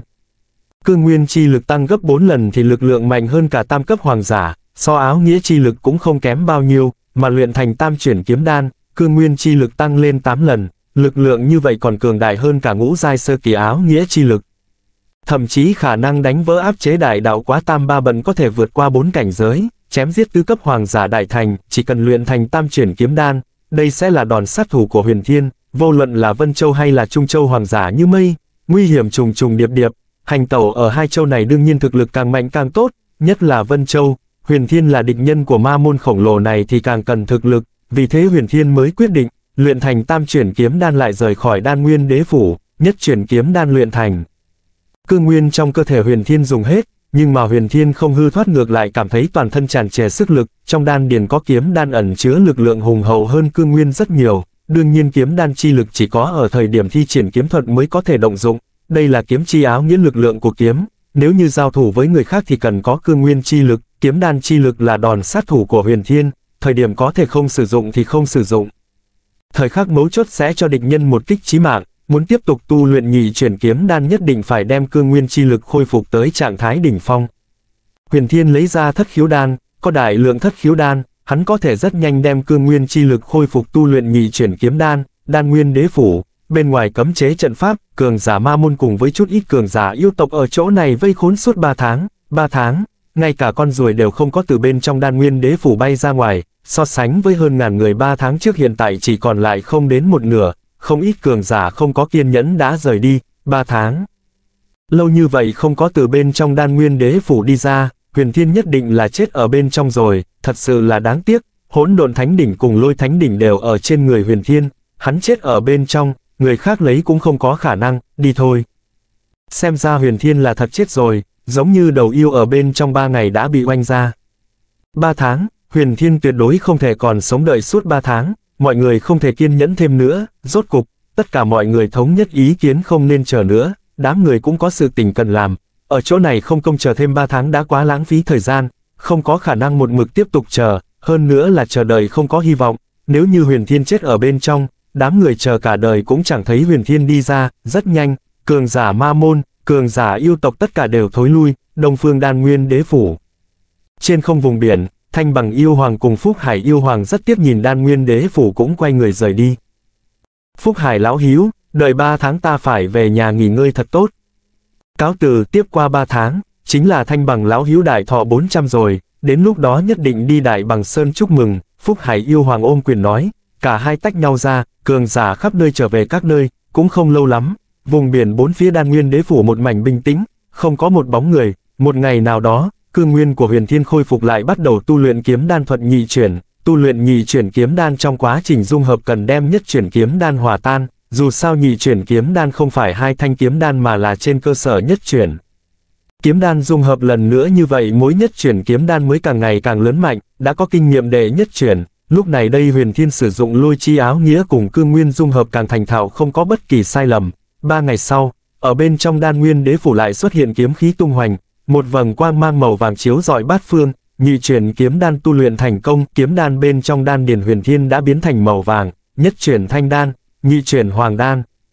tam chuyển lục đan, tu luyện tới nhị chuyển kiếm đan chính là màu vàng, đối với nhị chuyển kiếm đan tu luyện thành công nằm trong dự liệu của huyền thiên nhưng tâm tình của hắn vẫn hưng phấn như trước, vẹn vẹn là nhị chuyển kiếm đan, kiếm đan chi lực cũng đã có thể so sánh cùng ngũ giai áo nghĩa chi lực của hắn, nếu như luyện thành tam chuyển kiếm đan, chiến lược phi tốc tăng lên đạt tới cảnh giới rất cao, tam chuyển kiếm đan luyện thành đánh vỡ áp chế đại đạo chém giết bốn cảnh giới tứ cấp hoàng giả đại thành cũng không phải chuyện thần thoại, bất quá. Tu luyện tam chuyển kiếm đan, nhất định phải dung hợp một loại ngũ giai sơ kỳ áo nghĩa chi lực, hiện tại hỏa áo nghĩa chi lực của huyền thiên là tứ giai cực hạn, cũng chỉ có hỏa áo nghĩa mới có thể trong thời gian ngắn đạt tới ngũ giai sơ kỳ. Tuy rằng huyền thiên tu luyện cứu cực dẫn tinh quyết sẽ cảm ứng cự thổ tinh tìm hiểu thổ chi áo nghĩa, nhưng mà tiến triển thủy trung chậm hơn ngưng tụ hỏa diễm kiếm hồn một chút, ngưng tụ áo nghĩa linh hồn loại nào thì tốc độ áo nghĩa linh hồn càng nhanh, mà tốc độ ngưng tụ nguyên thần. Lĩnh ngộ áo nghĩa nhanh hơn ngưng tụ linh hồn, đối với tìm hiểu hỏa áo nghĩa huyền thiên rất có lòng tin, tuy rằng không giống hỗn độn áo nghĩa, lôi chi áo nghĩa có thánh đỉnh tương trợ, nhưng với tư chất của huyền thiên, hỏa thuộc tính là cao nhất. Tìm hiểu hỏa áo nghĩa nhanh nhất, lại có cứu cực dẫn tinh quyết đế cấp công pháp có thể cảm ứng thái dương tinh, ngay cả hỗn độn áo nghĩa khó lĩnh ngộ như vậy, trong hai tháng hắn cũng có thể tiến thêm một bước đương nhiên là càng tự tin về hỏa áo nghĩa, thời điểm huyền thiên tìm hiểu hỏa áo nghĩa, cường giả thiết mộc ma tông đã về thiết mộc ma tông đem tin tức báo cáo tông môn, rất nhanh tin tức truyền lại trung bộ Vân Châu, thiên ma đại lục, tổng bộ ma môn, bảy vị tông chủ của ma môn thất tông tụ tập trong thính đường, bảy người đều là cửu cấp hoàng giả. Nhân vật đỉnh phong của Vân Châu, mặt khác, còn có một chút cường giả ma môn, ít nhất cũng thất cấp thái thượng trưởng lão hoàng giả trở lên, tin tức huyền thiên ở bên trong đan nguyên đế phủ 3 tháng không ra, có khả năng đã chết truyền tới, minh tử đặc biệt chỉ thị, hỗn độn thánh đỉnh, lôi thánh đỉnh nhất định phải đoạt vào tay. Hiện tại huyền thiên chết ở đan nguyên đế phủ, trong lúc này không thể vào đó, nên phải làm thế nào? Một vị thất cấp hoàng giả vừa mới báo cáo tin tức của huyền thiên sau đó có chút lo lắng nói, trong số bảy đại tông chủ, sắc mặt thiết mộc tông chủ âm trầm, ánh mắt hung lệ, con của hắn chết ở dưới tay huyền thiên, nghe được danh tiếng của huyền thiên, hắn sẽ phát ra vẻ hung lệ đằng đằng sát khí, thánh đỉnh ở trong đan nguyên đế phủ cũng không có gì không tốt, chỉ là huyền thiên chết như thế thì quá tiện nghi cho hắn, lúc này thiên ma tông chủ ngồi ở thủ tọa nói, thiên ma tông chủ một. Thân áo trắng nhìn bề ngoài tuổi chừng 40, tướng mạo đường đường, nếu một mình xem xét làm cho người ta cảm giác đây là một hiệp sĩ chính đạo, nói thế là như thế nào. Huyết hỏa tông chủ mặc huyết y nói, đám cường giả ngồi đây đều nhìn sang thiên ma tông, thiên ma tông chủ nói, các đại tiền bối những năm gần đây này một mực vì đả thông ma giới thông đạo mà cố gắng, những ngày gần đây rốt cục đã có kết quả cái gì. Chuẩn đế lão tổ thật sự thành công, đến ma giới mới thích hợp tu luyện ma công, công pháp của chúng ta đều là đế cấp, nếu đả thông ma giới thì ma môn sẽ cường đại gấp 10 gấp trăm lần, mở ra thông đạo, minh tử có thể đi tới, đàn nguyên đế phủ khẳng định ngăn không được hắn. Cường giả ma môn kinh hô lên, thiên ma tông chủ dơ lên tay, mọi người an tĩnh lại, hắn nói, không cần cao hứng qua sớm, vẫn chưa thật sự thành công.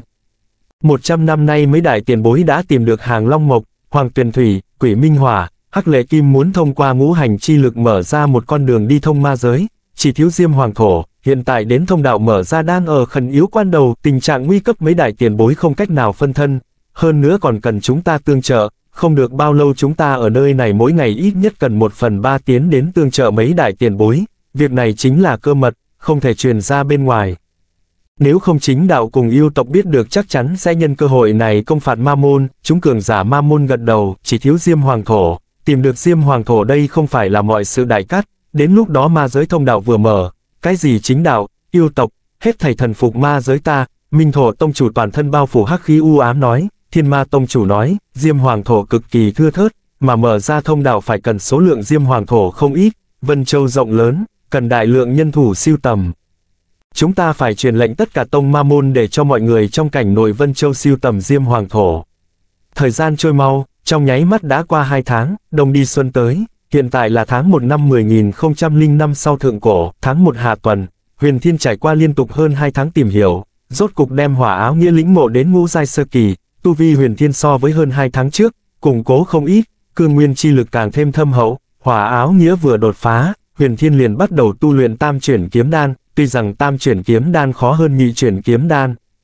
Nhưng mà áo nghĩa chi lực của huyền thiên rất cường đại, toàn bộ quá trình khống chế vô cùng cân đối, ngày 26 tháng 1, toàn bộ đan nguyên đế phủ lại một lần nữa kiếm khí tung hoành, quang mang màu xanh lá hướng bốn phương tám hướng chiếu rọi, tam chuyển lục. Tam chuyển kiếm đan tu luyện thành công, thực lực của huyền thiên xảy ra phát thai hoán cốt biến hóa. Luyện thành tam chuyển kiếm đan, khí chất của huyền thiên cũng đã xảy ra biến hóa cực lớn, cả người hắn tản ra kiếm khí vô cùng sắc bén như là một thanh tuyệt thế thần binh, người bình thường liếc hắn một cái, đôi mắt đều có thể sẽ bị thương, bất quá loại khí tức sắc bén này có thể thu liếm được, kiếm đan là đầu nguồn của khí tức sắc bén, chỉ cần không động kiếm đan, lực lượng kiếm chi áo nghĩa không ngoài phóng, khí tức sắc bén tự nhiên sẽ biến mất, kiếm đan vừa mới luyện thành thu liếm như thế nào đều không được, trọn vẹn qua thời gian nửa khắc. Khí tức sắc bén của huyền thiên mới từ từ thôi lui, cùng người bình thường không có gì khác nhau, khóe môi nhếch lên huyền thiên nhếch lên vui vẻ, xong rồi. Tam chuyển kiếm đan đã luyện thành, thanh bằng yêu hoàng, phúc hải yêu hoàng, ngày dỗ của các ngươi đến, cho dù là tứ cấp hoàng giả cũng chưa chắc ngăn cản được lực lượng áo nghĩa của tam chuyển kiếm đan, kiếm chi áo nghĩa không phải là tồn tại áo nghĩa chi lực tự nhiên, nó bất đồng với áo nghĩa chi lực của kim, mộc, thủy, hỏa, thổ, âm, dương, gió, lôi, băng, ảnh, ám, nó chỉ là kiếm khách tu luyện ra lực lượng, chuẩn xác mà nói kiếm chi áo nghĩa chính là đan nguyên kiếm đế mới có, bởi vì kiếm đan thuật là đan nguyên kiếm đế sáng chế, đan nguyên kiếm đế từ một vạn tám ngàn năm trước thì phi thăng thành thần, hiện tại huyền thiên trở thành đệ tử của hắn, đạt được phương pháp tu luyện kiếm đan thuật, cả nhân giới, lực lượng kiếm chi áo nghĩa duy chỉ có huyền thiên, kiếm đan thuật tổng cộng chia làm cửu truyền, kiếm chi áo nghĩa cũng có thể phân chia cửu đẳng, người bất đồng ngưng kết kiếm đan không giống nhau. Nhưng có thể khẳng định là kiếm chi áo nghĩa phi thường cường đại, huyền thiên ngưng kết ra kiếm đan cường đại nhất, lực lượng kiếm chi áo nghĩa cũng cường đại nhất, hiện tại hắn là tam chuyển kiếm đan, lực lượng kiếm chi áo nghĩa là đệ tam đẳng tương đối áo nghĩa chi lực hẳn là tam giai, nhưng mà áo nghĩa hiện tại của huyền thiên lĩnh mộ đạt đến ngũ giai sơ kỳ, lực lượng yếu hơn tam chuyển kiếm đan rất nhiều, tam đẳng kiếm chi áo nghĩa cường đại hơn ngũ giai sơ kỳ áo nghĩa chi lực, huyền thiên không có vội vã rời đi đan nguyên đế phủ. Vừa luyện thành tam chuyển kiếm đan, cương nguyên trong cơ thể hoàn toàn tiêu hao hết, nhất định phải khôi phục cương nguyên trước, kiếm đan là át chủ bài của huyền thiên, kiếm chi áo nghĩa là đòn sát thủ của hắn. Át chủ bài thì nên che giấu, để cho người khác không cách nào biết được, ở lúc mấu chốt cho địch nhân một kích chí mạng, dùng tu vi hiện tại của huyền thiên không sử dụng kiếm chi áo nghĩa cũng đủ để chém giết tam cấp hoàng giả, dù sao chiến lược bản thân hắn đã phi thường cường đại, có thể nói biến thái đủ chiến đấu vượt qua ba cảnh giới, ăn hết mấy viên thất khiếu đan, mấy canh giờ sau, cương nguyên của huyền thiên hoàn toàn khôi phục, sắc trời đã tối, một ngày lại đi qua, huyền thiên xuất ra hỗn độn thánh đỉnh. Luyện mấy ngàn viên đan dược, đều là ngàn năm dược vương luyện thành ngàn năm linh đan, vô luận là tăng lên tu vi hay là trị liệu thương thế hoặc là giải độc, đều có được hiệu quả cực hạn, hơn nữa dược cổ 2.000 năm, huyền thiên cũng cầm mấy chục gốc luyện ra trên trăm viên 2.000 năm linh đan. Dược hiệu cường đại hơn ngàn năm linh đan nhiều, đây là tuyệt thế đan dược phục dụng tại thời điểm khẩn yếu quan đầu sao tình trạng nguy cấp. Về phần dược tinh 3.000 năm quá quý trọng, nó có tác dụng rất lớn với hoàng giả. Huyền Thiên giữ lại sau này từng có, trừ phi là tiến vào bên trong di tích mấy ngàn năm không ai đi vào, nếu không vô luận là Trung Châu hay là Vân Châu tuyệt đối không có dược tinh linh thảo 3.000 năm. Ngày kế tiếp, Huyền Thiên mang theo tiểu hổ ra khỏi đan nguyên đế phủ, Huyền Thiên đã luyện hóa được phủ của đan nguyên đế phủ tầng thứ nhất, ngoại trừ tầng 2, tầng 3 đi không được, tất cả địa phương bên trong đan nguyên đế phủ đều có thể đi, trận pháp cấm chế bên ngoài vùng biển, hạn chế cấm bay đã không có ảnh hưởng chút nào đối với huyền thiên, Huyền Thiên trực tiếp bay ra khỏi khu vực trận pháp nhìn biển cả vô biên vô hạn bốn phía, rất nhanh đã đoán được phương hướng, hắn bay về phía đông, từ đan nguyên đế phủ đến thanh bằng đại lục chỉ có mười mấy vạn dặm. Hơn một canh giờ huyền thiên đã đến nơi này, thanh bằng đại lục dài hơn 400 vạn dặm, rộng hơn 300 vạn dặm, là một mảnh lục địa lớn nhất phạm vi ngàn vạn dặm, trên phiến đại lục này bá chủ chính là thanh bằng yêu hoàng, phủ đệ của hắn ở đại bằng sơn phía đông đại lục thanh bằng, vị huynh đài này, xin hỏi một chút đại bằng sơn cách nơi này còn xa không, ở phương vị nào? Huyền thiên phi hành một hồi vô mục đích ở bên trên đại lục thanh bằng, chứng kiến một vị vương giả, lập tức bay về phía đó tiến đến hỏi, từ bên trong đan nguyên đế phủ đi ra. Huyền Thiên một là muốn tìm thanh bằng yêu hoàng, Phúc Hải yêu hoàng báo thù, hai là muốn đi phía Đông Vân Châu tới Cưu Ma Đại Lục, thanh bằng Đại Lục cách đan nguyên đế phủ không xa. Trạm thứ nhất của Huyền Thiên đương nhiên là đến thanh bằng Đại Lục, đây là một yêu vương bình thường. Nửa năm trước thiên bằng yêu hồng thọ yến hắn cũng không có tư cách đi, vì thế chưa từng gặp Huyền Thiên, thấy Huyền Thiên là chuẩn hoàng, Yêu vương này bắt đầu kính nể nghiêm nghị nói, huynh đài đi đại bằng sơn tham gia thọ yến 400 đại thọ của thanh bằng đại nhân sao.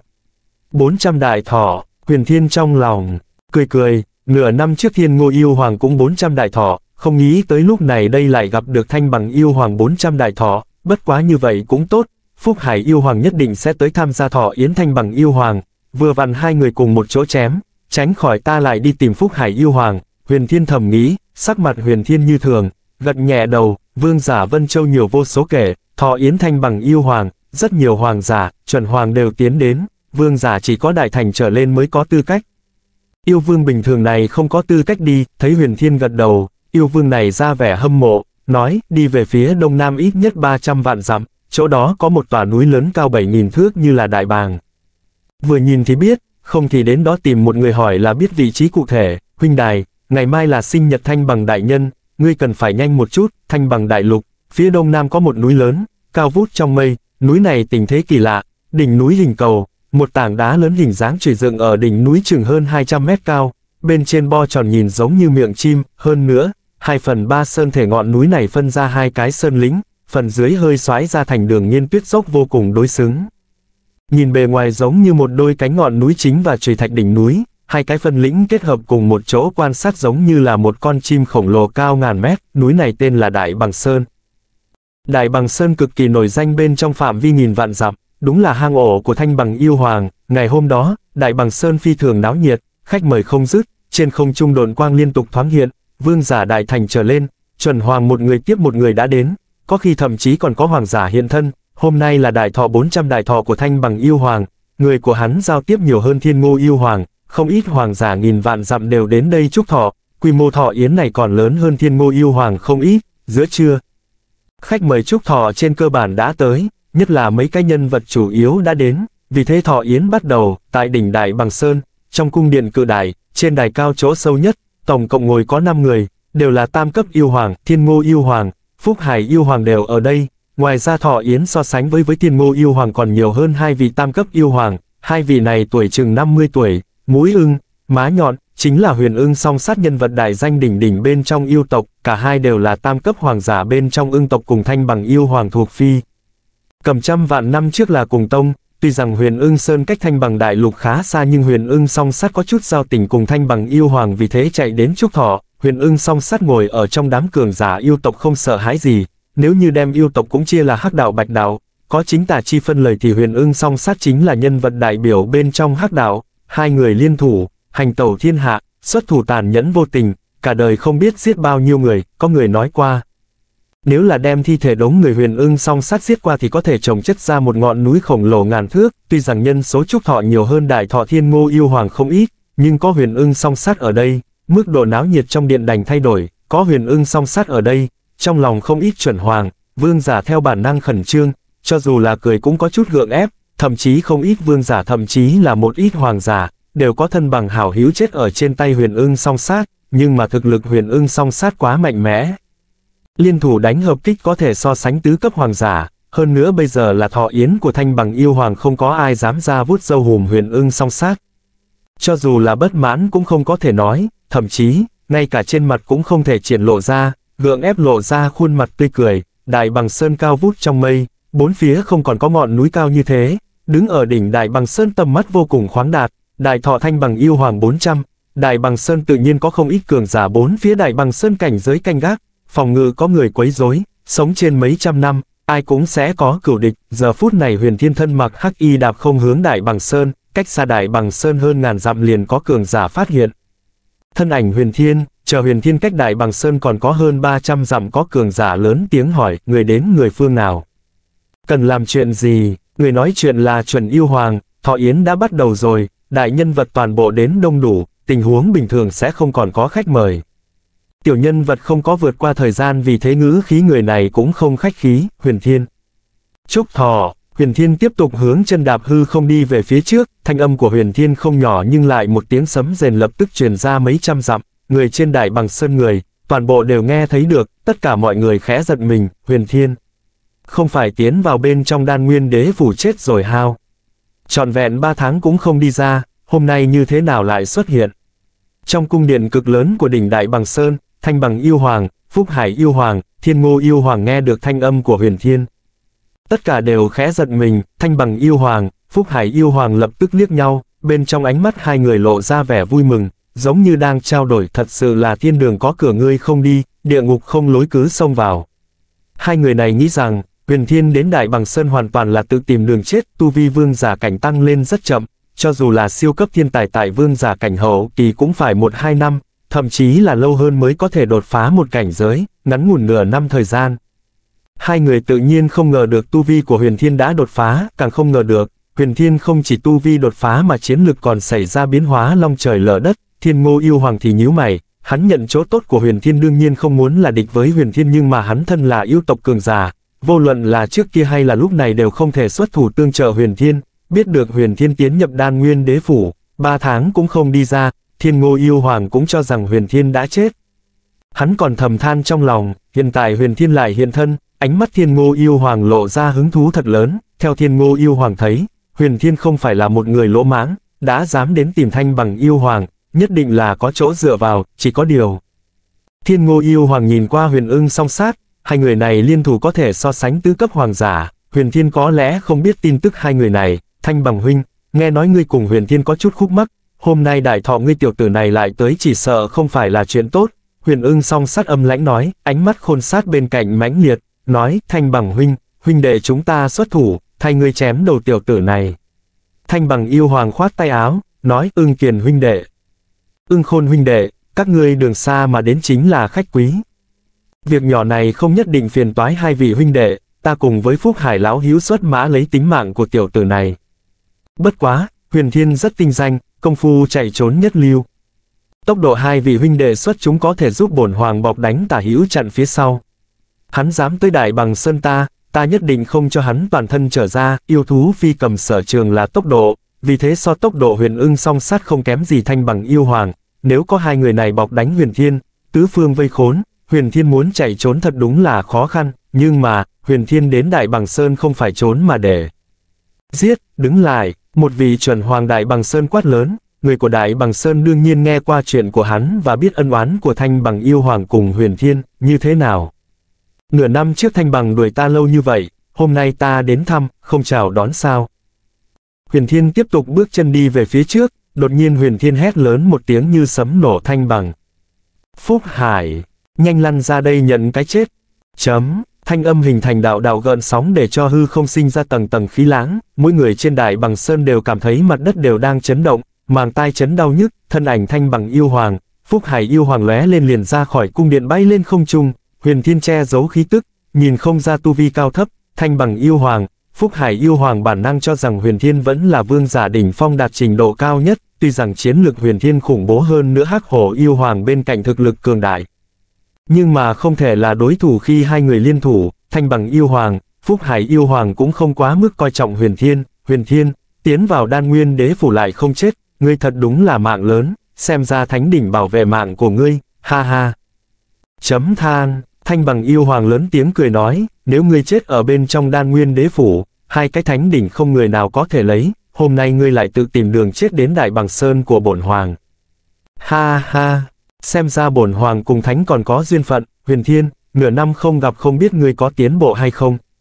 Lúc này đây cũng đừng như lần trước bỏ chạy, có đảm lượng thì cùng chúng ta quyết sinh tử, Phúc Hải yêu hoàng cũng quát lớn, trong lúc nói chuyện, hai người như là tia chớp bay qua bầu trời, trực tiếp ra khỏi đại bằng sơn đứng cách huyền thiên hơn 10 dặm, hai vị tam cấp yêu hoàng bộc phát khí thế lập tức trong hư không nổi lên từng cơn cuồng phong, phiên vân cồn cồn, thiên địa biến sắc, tiểu hổ trên vai huyền thiên to bằng bàn tay nhìn thanh bằng yêu hoàng, phúc hải yêu hoàng, sau đó nhắm mắt lại, chẳng có hứng thú nhìn tiếp, đối với thực lực của huyền thiên.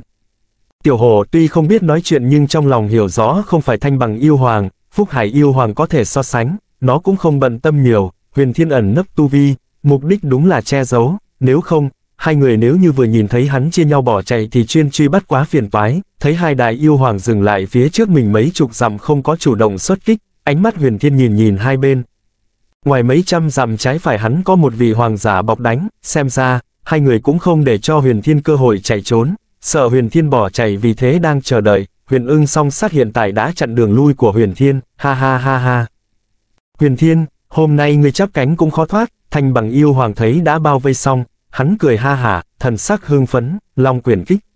Phúc Hải yêu hoàng hét lớn một tiếng, thân thể của hắn lập tức biến hóa hiện ra nguyên hình, là một đầu cự dao dài hơn hai thước, chỉ thấy thân hình Phúc Hải yêu hoàng cấp tốc xoay tròn lập tức cuồng phong tăng lên dữ dội gấp 10 lần, một cái vòi rồng xuất hiện, là một đạo vòi rồng cao tới mấy ngàn thước, phạm vi vòng xoáy chừng ngàn thước cấp tốc bay tới huyền thiên. Thanh bằng lăng thiên thức, thanh bằng yêu hoàng cũng thi triển tuyệt kỹ của hắn hóa thành bản thể, đón gió bay lên, hai cái bằng chảo lớn tới ngàn thước đánh tới, huyền thiên dưới công kích này giống như là một con kiến, bất quá lực lượng mạnh yếu từ trước đến nay không phải thể tích lớn nhỏ có thể suy đoán, đối với công kích của thanh bằng yêu hoàng, phúc hải yêu hoàng, thần sắc huyền thiên không thay đổi, thậm chí khóe miệng nhếch lên lộ ra một tia khinh thường, lực chú ý của huyền thiên trọng điểm là ở hai tam cấp hoàng giả bọc đánh sau lưng hắn. Hai người này hắn chưa từng gặp nhưng mà khí tức rất gần, xem ra am hiểu liên thủ đánh hồi hợp kích, chỉ cần trong lòng có cảnh giác, huyền thiên cũng không sợ huyền ưng song sắt sẽ đánh lén. Lực chú ý trọng điểm trên hai người đó nhưng trọng điểm công kích là thanh bằng yêu hoàng cùng phúc hải yêu hoàng, đột nhiên khí thế của huyền thiên tăng lên, tu vi phóng ra ngoài, khí tức kinh khủng kia như là quả bom bạo tạc nổ tung, dùng huyền thiên làm trung tâm lập tức nhấc lên vô số khí láng, trong chốc lát lao ra hơn 10 dặm, linh thân. Tam giai cực hạn, áo nghĩa hoàng giả tiêu chuẩn, huyền thiên trước kia là vương giả đỉnh phong đạt trình độ cao nhất, hiện tại đã là chuẩn hoàng, cái chán huyền thiên đột nhiên mở ra một cái mắt dọc, là hoàng đạo thiên bắn ra một quầng thổ hoàng sắc quang mang, đồng thời ánh mắt của hắn từ trên hai người thanh bằng yêu hoàng, phúc hải yêu hoàng đảo qua, trên mặt lộ ra một nụ cười lãnh khốc, sát khí lập tức bao phủ thanh bằng yêu hoàng, Phúc Hải yêu hoàng làm cho trong lòng hai người phát lạnh, một thanh hoàng cấp bảo kiếm gần như trong suốt đột nhiên xuất hiện trong tay huyền thiên. Hắn lập tức xuất kiếm, húc nhật thuấn sát kiếm thức thứ tư vãn hà ánh thiên, bảo kiếm hoạch xuất một vùng xích sắc quang mang sáng chói như là ánh nắng chiều ẩn chứa đạo vận sâu xa, ngũ giai sơ kỳ hỏa áo nghĩa thi triển, uy lực cực kỳ cường đại, cho dù là tam cấp hoàng giả đều cảm giác tim đập thình thịch, vô cùng nóng bức, kiếm quang kia trong chốc lát bắn ra hơn 10 dặm tràn ngập thiên không, cùng lúc đó, một đạo vòng xoáy kiếm cương đi ra từ bên trong mi tâm của huyền thiên, nguyên thần ngự kiếm, thì triển lôi hỏa loa toàn thứ đâm thẳng phúc hải yêu hoàng, ván hạ ánh thiên vừa ra. Đạo vận thanh bằng lang thiên thức của thanh bằng yêu hoàng giảm đi nhanh chóng biến thành một kích bình thường, ánh nắng chiều đầy trời tựa hồ có một cổ lực lượng cường đại bao phủ, long quyền kích của phúc hải yêu hoàng cũng không cách nào xoáy lên, ngược lại làm cho tốc độ vòi rồng càng ngày càng chậm, nháy mắt sau đó lôi hỏa loa toàn thứ trực tiếp đâm long quyền kích cuối cùng vòng xoáy của huyền thiên đâm ra mạnh hơn một bậc, kiếm cương tiến nhanh đâm tới Phúc Hải yêu hoàng, đỉnh đầu huyền thiên nổ tung những tiếng leng keng. Ánh nắng chiều đầy trời như là từng đạo kiếm khí cản trở công kích chảo của thanh bằng yêu hoàng, hỗn độn kiếm khí. Chiêu thức hoàng cấp bảo kiếm trong tay huyền thiên biến đổi, một kiếm chém tới thanh bằng yêu hoàng, đồng thời thân thể như mũi tên vọt về phái Phúc Hải yêu hoàng, cánh tay màu vàng chém xuống, hiu, hiu, hiu, hiu, bốn đạo kiếm cương kim sắc nổ bắn ra mang theo điện mang, là bất diệt lôi kiếm, long quyền kích của Phúc Hải yêu hoàng vừa vỡ, lôi hỏa loa toàn thứ nháy mắt liền đâm đến trước mắt dọa hắn nhảy dựng lên, nhất là tu vi huyền thiên tăng lên trở thành chuẩn hoàng càng trùng kích tâm linh của hắn để cho hắn kinh hãi, đối với một kiếm lôi hỏa loa toàn thứ này, Phúc Hải yêu hoàng nào dám tiếp, lập tức cuồng phong nổi lên, thân thể khổng lồ cưỡi gió hướng bên cạnh phóng đi, nhưng cuối cùng là vẫn chậm một chút.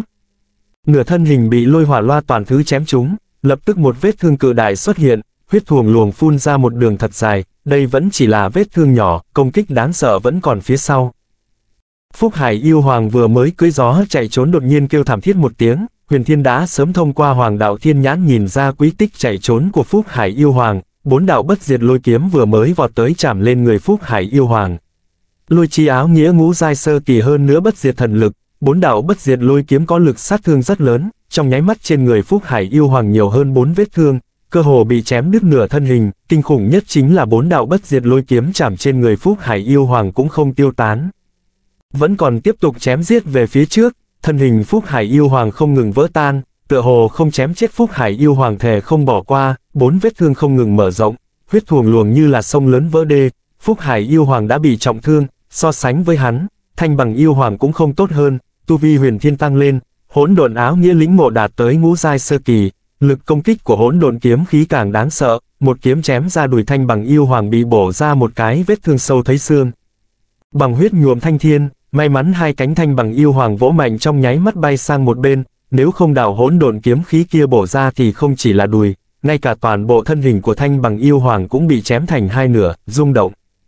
Cực độ rung động, xa xa trên đại bằng sơn, yêu tộc cường giả đều ra khỏi cung điện quan chiến, cả đám nhìn thấy mà trợn mắt há mồm, ngắn ngủn nửa năm không gặp, huyền thiên hiện thân là chuẩn hoàng, chiến lực so với nửa năm trước, tăng lên một khoảng rất lớn. Nửa năm trước huyền thiên cùng hắc hổ yêu thú liên thủ cũng không phải đối thủ của thanh bằng yêu hoàng cùng phúc hải yêu hoàng, mà hôm nay, hai đại yêu hoàng không thể chống lại huyền thiên, trong chớp mắt, hai đại yêu hoàng song song bị thương, nhất là phúc hải yêu hoàng.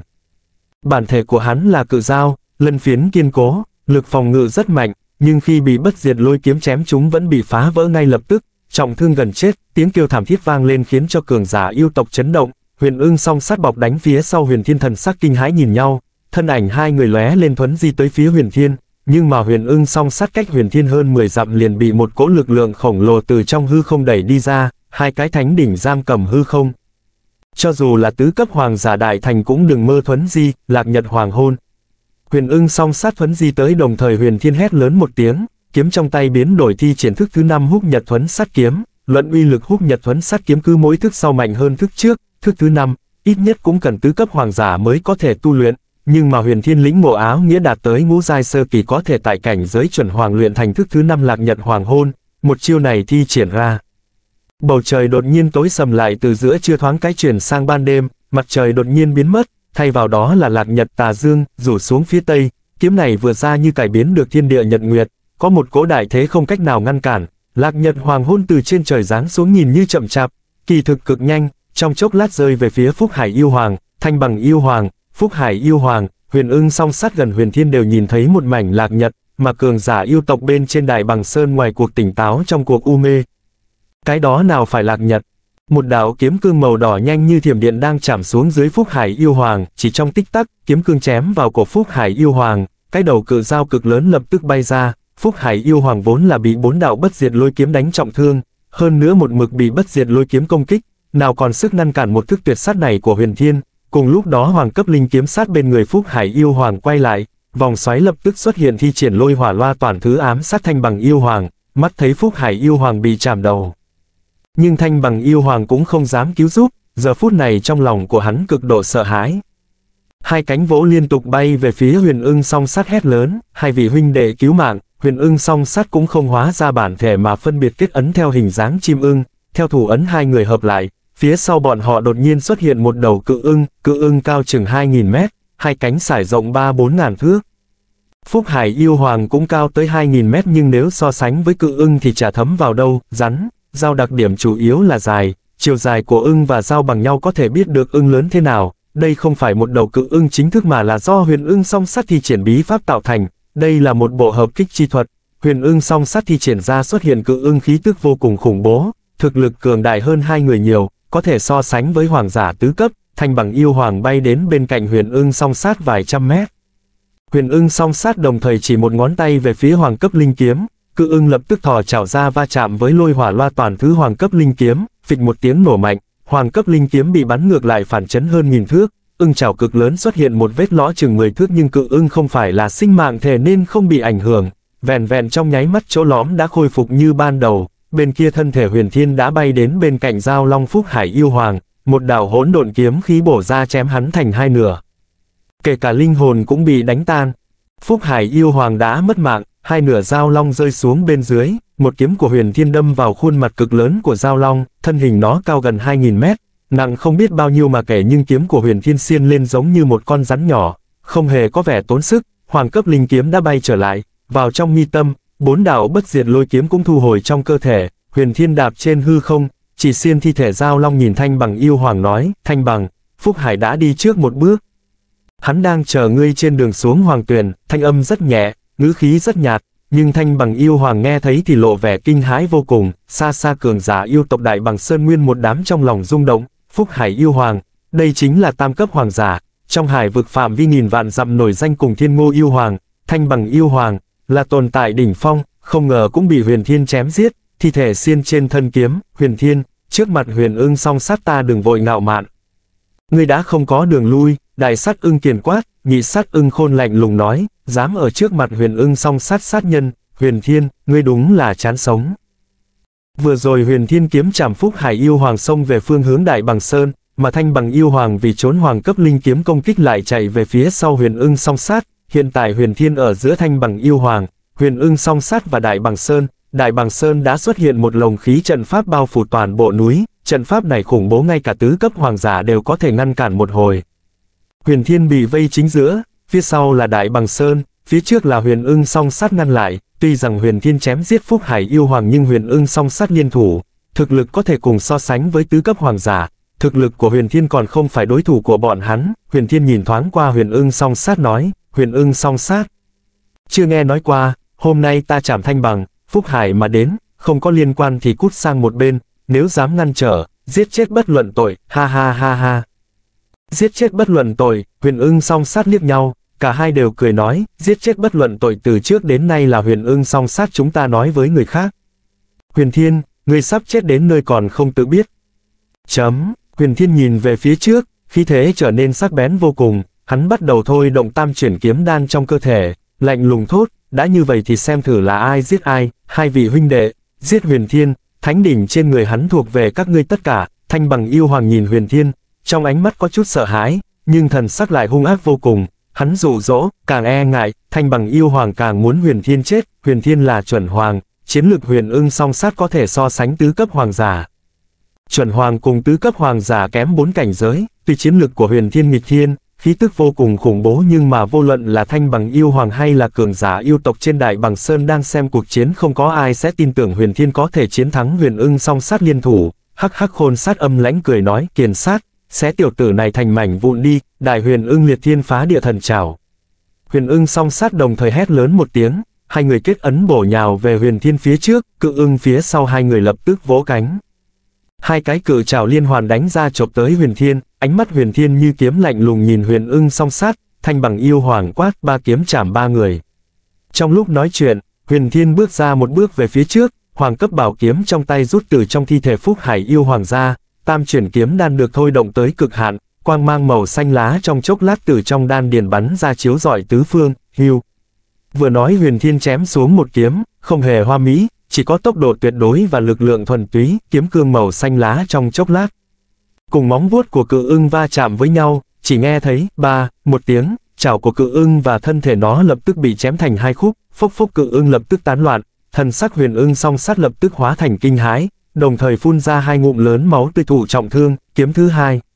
Huyền Thiên dẫm một cái trên hư không, một bước ngàn thước, một kiếm quét ngang, kiếm cương màu xanh lá trong chốc lát gọt hư không thành hai nửa, thân thể huyền ưng song sát bị chặt đứt ngang người, nhanh. Tốc độ quá nhanh, huyền ưng song sát vừa bị cắn trả trọng thương. Căn bản không cách nào né tránh, hai người không chỉ thân thể bị lập tức chặt đứt, lực lượng kiếm chi áo nghĩa khủng bố lập tức lan tràn toàn thân diệt sát linh hồn của hai người. Vì thế thân thể hai người vừa mới bị chặt đứt liền biến thành nguyên hình là hai con cự ưng cao hơn ngàn thước, một kiếm phá hợp kích chi thuật của huyền ưng song sát, hai kiếm diệt sát huyền ưng song sát. Cho tới giờ khắc này, cường giả xem cuộc chiến mới phản ứng tới, trong lòng như bị trọng kích chấn động, trong mắt tràn đầy vẻ khó tin, thanh bằng yêu hoàng ở cách huyền ưng song sát hơn nghìn thước, mãi cho tới khi huyền ưng song sát đã chết, hắn mới từ trong kinh hãi giật mình tỉnh lại. Lực công kích kinh khủng kia của huyền thiên làm cho hắn hồn kinh đảm táng thuấn di. Thuấn di không được, hai cánh thanh bằng yêu hoàng chấn động lập tức phóng lên trời, hắn đem tốc độ phát huy đến mức tận cùng, giờ phút này, thanh bằng yêu hoàng chỉ còn lại có một cái ý niệm trong đầu, trốn. Trốn, trốn, kiếm thứ ba. Ngay tại một sát na kia hai cánh thanh bằng yêu hoàng chấn động, thanh âm huyền thiên cùng kiếm cương màu xanh lá thứ ba đồng thời phá không chém tới, thanh bằng yêu hoàng mới bay ra ngàn thước đã bị kiếm cương chém trúng, ba lúc này đây, thanh bằng yêu hoàng không thể né tránh, thân thể khổng lồ từ chính giữa bị chém thành hai nửa, lập tức đi đời nhà ma từ lúc huyền thiên nói, ba kiếm chảm ba người, chỉ mới qua ba nhịp hô hấp. Hắn xuất liên tục ba kiếm, huyền ưng song sát, thanh bằng yêu hoàng ba người tất cả đều bị mất mạng, lực công kích tam chuyển kiếm đan đích thật là khủng bố, giết ba người như chém dưa thái rau, phúc hải yêu hoàng, huyền ưng song sát, thanh bằng yêu hoàng. Bốn khối thi thể khổng lồ vẫn còn rơi xuống, từ lúc huyền thiên rút hoàng cấp bảo kiếm từ trong thi thể phúc hải yêu hoàng ra tới lúc chém giết ba người huyền ưng song sát, thanh bằng yêu hoàng thời gian không quá ba nhịp thở, phúc hải yêu hoàng rơi xuống đất trước, phanh, phanh, phanh, phanh, phanh, phanh, phanh, bảy tiếng chấn động liên tiếp vang lên, thi thể tứ đại yêu hoàng rơi trên mặt đất làm rung núi chuyển đất, đỉnh đại bằng sơn. Cường giả yêu tộc không dưới ngàn người. Giờ phút này, toàn bộ đại bằng sơn đều hoàn toàn yên tĩnh, ngay cả tiếng hít thở đều không có, cường giả yêu tộc trợn mắt há mồm, thậm chí đều ngừng hô hấp lại, cho dù là tam cấp hoàng giả thiên ngô yêu hoàng đều không ngoại lệ. Lực công kích của huyền thiên vượt quá hoàn toàn vượt ra khỏi tưởng tượng của bọn hắn, thiên ngô yêu hoàng cùng thanh bằng yêu hoàng, phúc hải yêu hoàng nổi danh bá chủ của vùng biển nghìn vạn dặm này, trong lòng hắn phát hiện vô cùng may mắn. Không cùng huyền thiên tương địch, nếu không nhất định là có kết cục cùng thanh bằng yêu hoàng, phúc hải yêu hoàng, hắn chỉ đường cho huyền thiên về Trung Châu đã được chỗ tốt là một vạn thượng phẩm linh thạch, để cho tu vi hắn khả năng lại có đột phá, vạn hạnh. Vạn hạnh, đây là số mệnh của bổn hoàng. Trong lòng thiên ngô yêu hoàng cảm thán, ngàn cường giả yêu tộc trên đại bằng sơn số lượng hoàng giả cũng không ít, bất quá, mặc dù từ trong lúc khiếp sợ tỉnh lại nhưng có người cả kinh, có tức giận, có người mừng thâm. Thần sắc tất cả không giống nhau, nhưng không có bất luận kẻ nào dám can đảm đi ra chửi mắng huyền thiên, cũng không có ý định đi ra bắt quen với hắn, đám người đứng từ xa nhìn, trong mắt lộ vẻ kinh hãi. Cũng có một chút yêu tộc cường giả nhìn thi thể Phúc Hải yêu hoàng, thanh bằng yêu hoàng, huyền ưng song sát, trong ánh mắt lộ ra khát vọng vẻ, đều là thi thể tam cấp yêu hoàng, yêu thú có thể trực tiếp thông qua nuốt luôn thi thể vũ giả hoặc là yêu thú tăng tu vi lên, yêu thú cấp thấp nuốt luôn thi thể yêu thú cao cấp càng có hiệu quả rõ rệt, một vị yêu vương nếu ăn thi thể tam cấp yêu hoàng, tu vi khẳng định trong thời gian ngắn liên tục đột phá, đợi một thời gian luyện hóa toàn bộ năng lượng của tam cấp yêu hoàng thậm chí khả năng đạt tới cảnh giới tam cấp yêu hoàng, bất quá. Yêu vương muốn ăn yêu hoàng, căn bản không có khả năng, nào có cơ hội như vậy. Tình hình chung, yêu thú cấp thấp không có khả năng ăn yêu thú cao cấp, trừ phi là cơ duyên xảo hợp, hiện tại thi thể bốn vị tam cấp yêu hoàng trước mắt, đương nhiên không ít yêu tộc cường giả đỏ mắt, bất quá đỏ mắt là đỏ mắt, bốn vị tam cấp yêu hoàng không người nào là nhân vật đại danh đỉnh đỉnh, thủ hạ một đống, đâu có thể nào để cho thi thể của bọn hắn bị người khác ăn hết, huống chi, huyền thiên còn đứng trên thi thể bốn vị yêu hoàng. Không có yêu tộc cường giả nào dám đi qua, trong hư không, huyền thiên thu lại hoàng cấp bảo kiếm, lực lượng của tam chuyển kiếm đan thậm chí vượt quá dự liệu của hắn. Thật là đáng sợ, kiếm cương vừa ra chém giết tam cấp hoàng giả như chém dưa thái rau, mặc dù huyền ưng song sát liên thủ có thể chống lại tứ cấp hoàng giả nhưng vẫn bị miểu sát, đương nhiên huyền ưng song sát liên thủ, chỉ là có thể so sánh với tứ cấp hoàng giả. Tứ cấp hoàng giả chính thức thực lực khẳng định mạnh hơn hai người, hơn nữa huyền thiên có áp chế đại đạo quá tam ba bận từ chém giết huyền ưng song sát như là chém dưa thái rau thì chuyện chém giết tứ cấp hoàng giả, trong lòng huyền thiên tin tưởng vô cùng, hừ. Thẳng đến huyền thiên chém giết bốn vị tam cấp yêu hoàng, tiểu hổ mới có hơi hứng thú đứng lên, duỗi cái lưng mệt mỏi, huyền thiên vỗ vỗ đầu tiểu hổ nói, đừng lãng phí nhé. Tiểu hổ gật nhẹ đầu, từ trên vai huyền thiên tung xuống, thân hình hóa lớn dài chừng 500 mét, thân hình tiểu hổ bên trong yêu thú cùng cảnh giới có thể nói.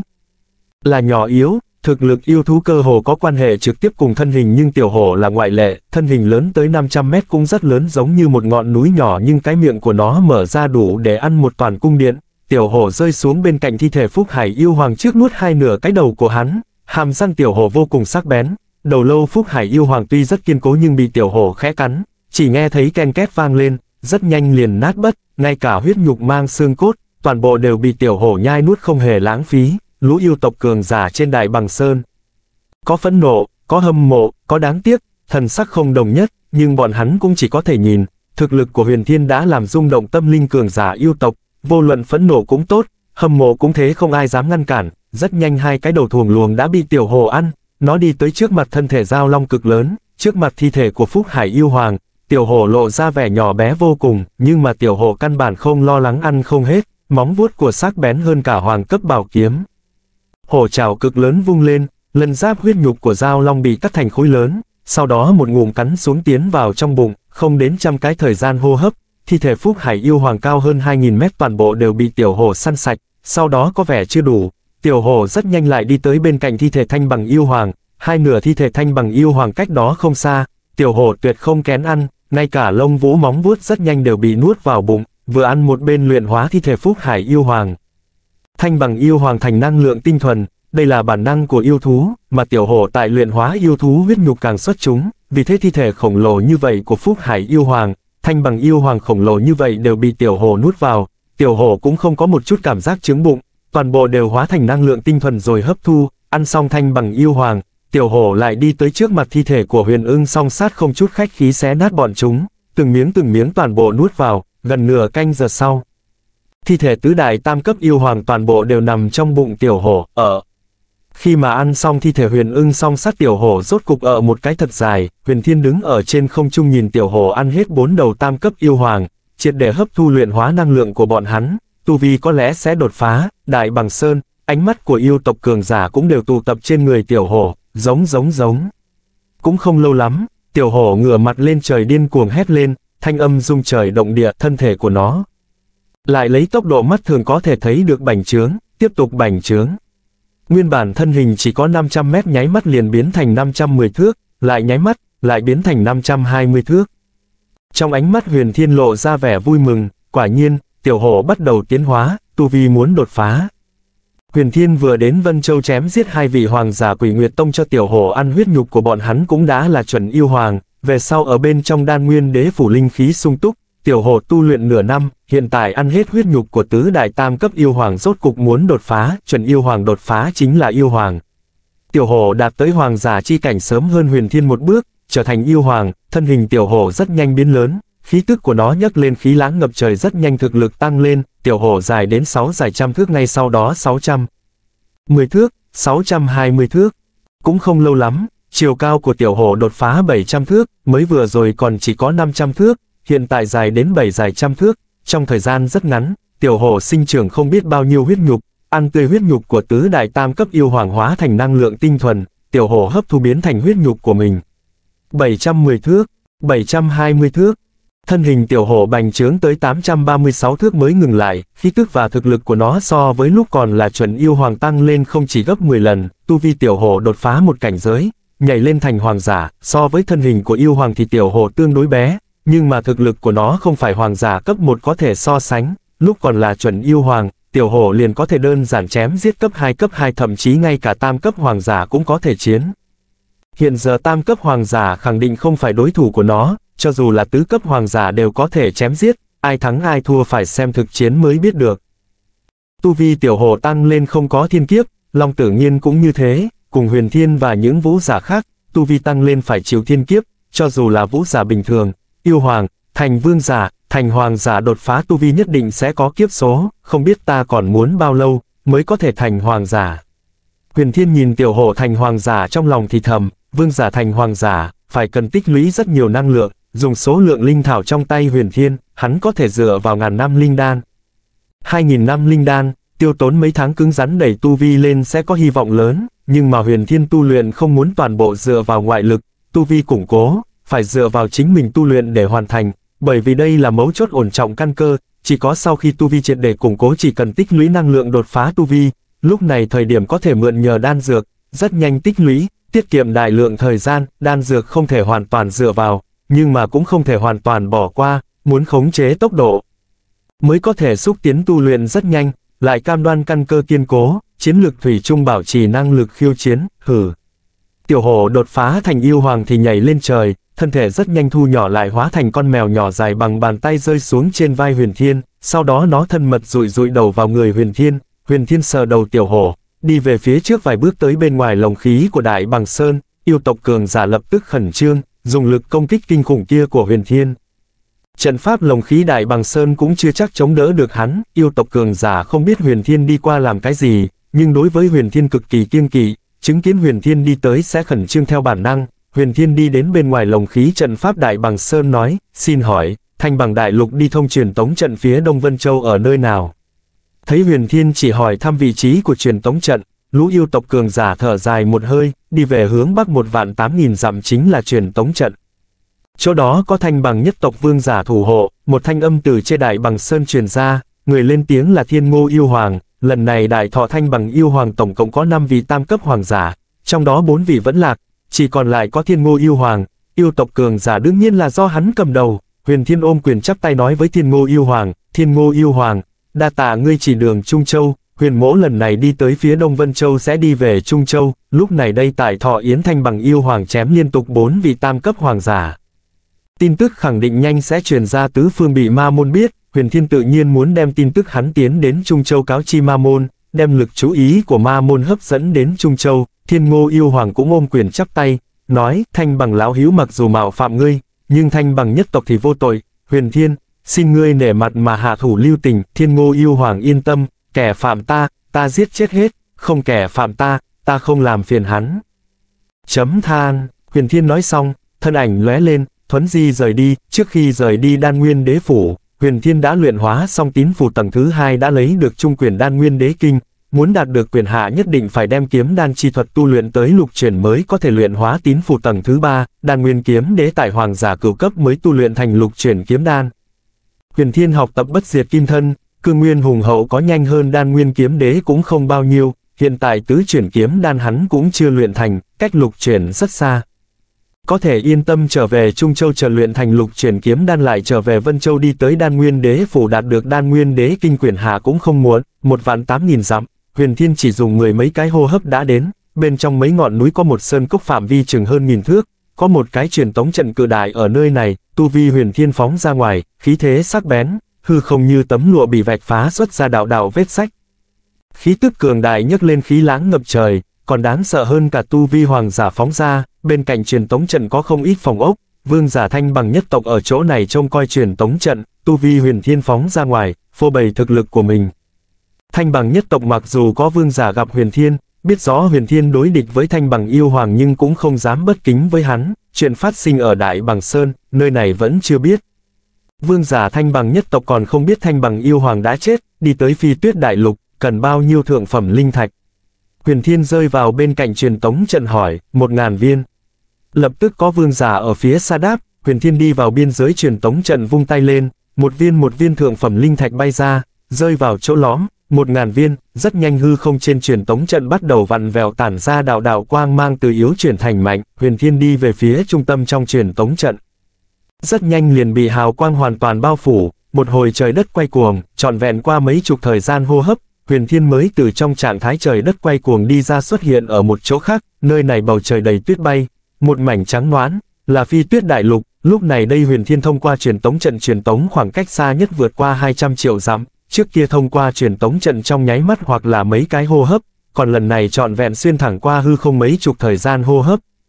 Khoảng cách truyền tống rất dài, dùng tốc độ huyền thiên hiện tại một ngày 400 vạn dặm, mỗi ngày thuấn di cũng mất gần 2 tháng, mà thông qua truyền tống trận chỉ cần thời gian mấy chục cái hô hấp, không thể không nói đây quả thực là kỳ tích, trách không được chỉ có cường giả thành đế mới có thể khắc họa ra truyền tống trận ảo diệu như thế, phi tuyết đại lục rộng 600 vạn dặm, dài 800 vạn dặm, bốn mùa tuyết bay, nơi này là Đông Bắc Vân Châu chuẩn xác mà nói, xem như là hướng Bắc.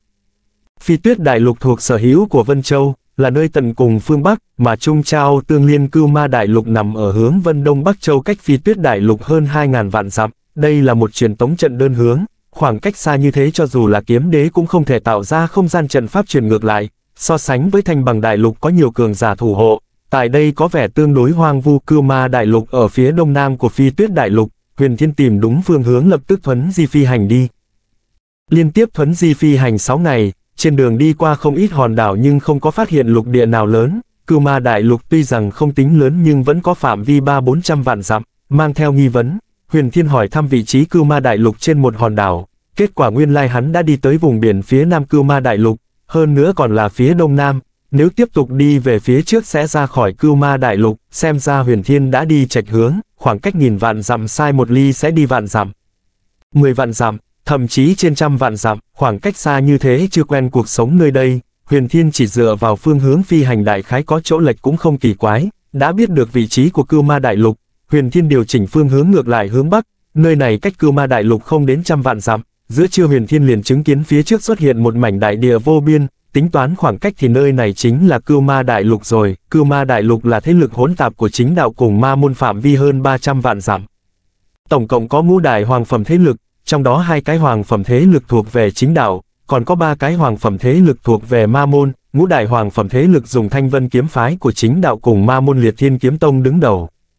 Song phương đều có tam cấp hoàng giả tọa chấn, còn lại tam đại hoàng phẩm thế lực chính đạo cửu tiêu tông, ma môn băng vân cung, kim dương cốc đều chỉ có một vị cấp một hoàng giả, vì thế tuy rằng bên là chính đạo hoàng phẩm thế lực thiếu một nhưng tổng hợp thực lực, thực sự không kém bao nhiêu, cư ma đại lục là mấu chốt đi thông trung châu un trên đường đến cư ma đại lục, Huyền Thiên đã thăm dò được một ít tin tức của Cưu Ma Đại Lục cùng với vị trí cụ thể của Cưu Ma Lĩnh, Cưu Ma Lĩnh ở chính giữa phương Bắc Cưu Ma Đại Lục cách mấy vạn dặm.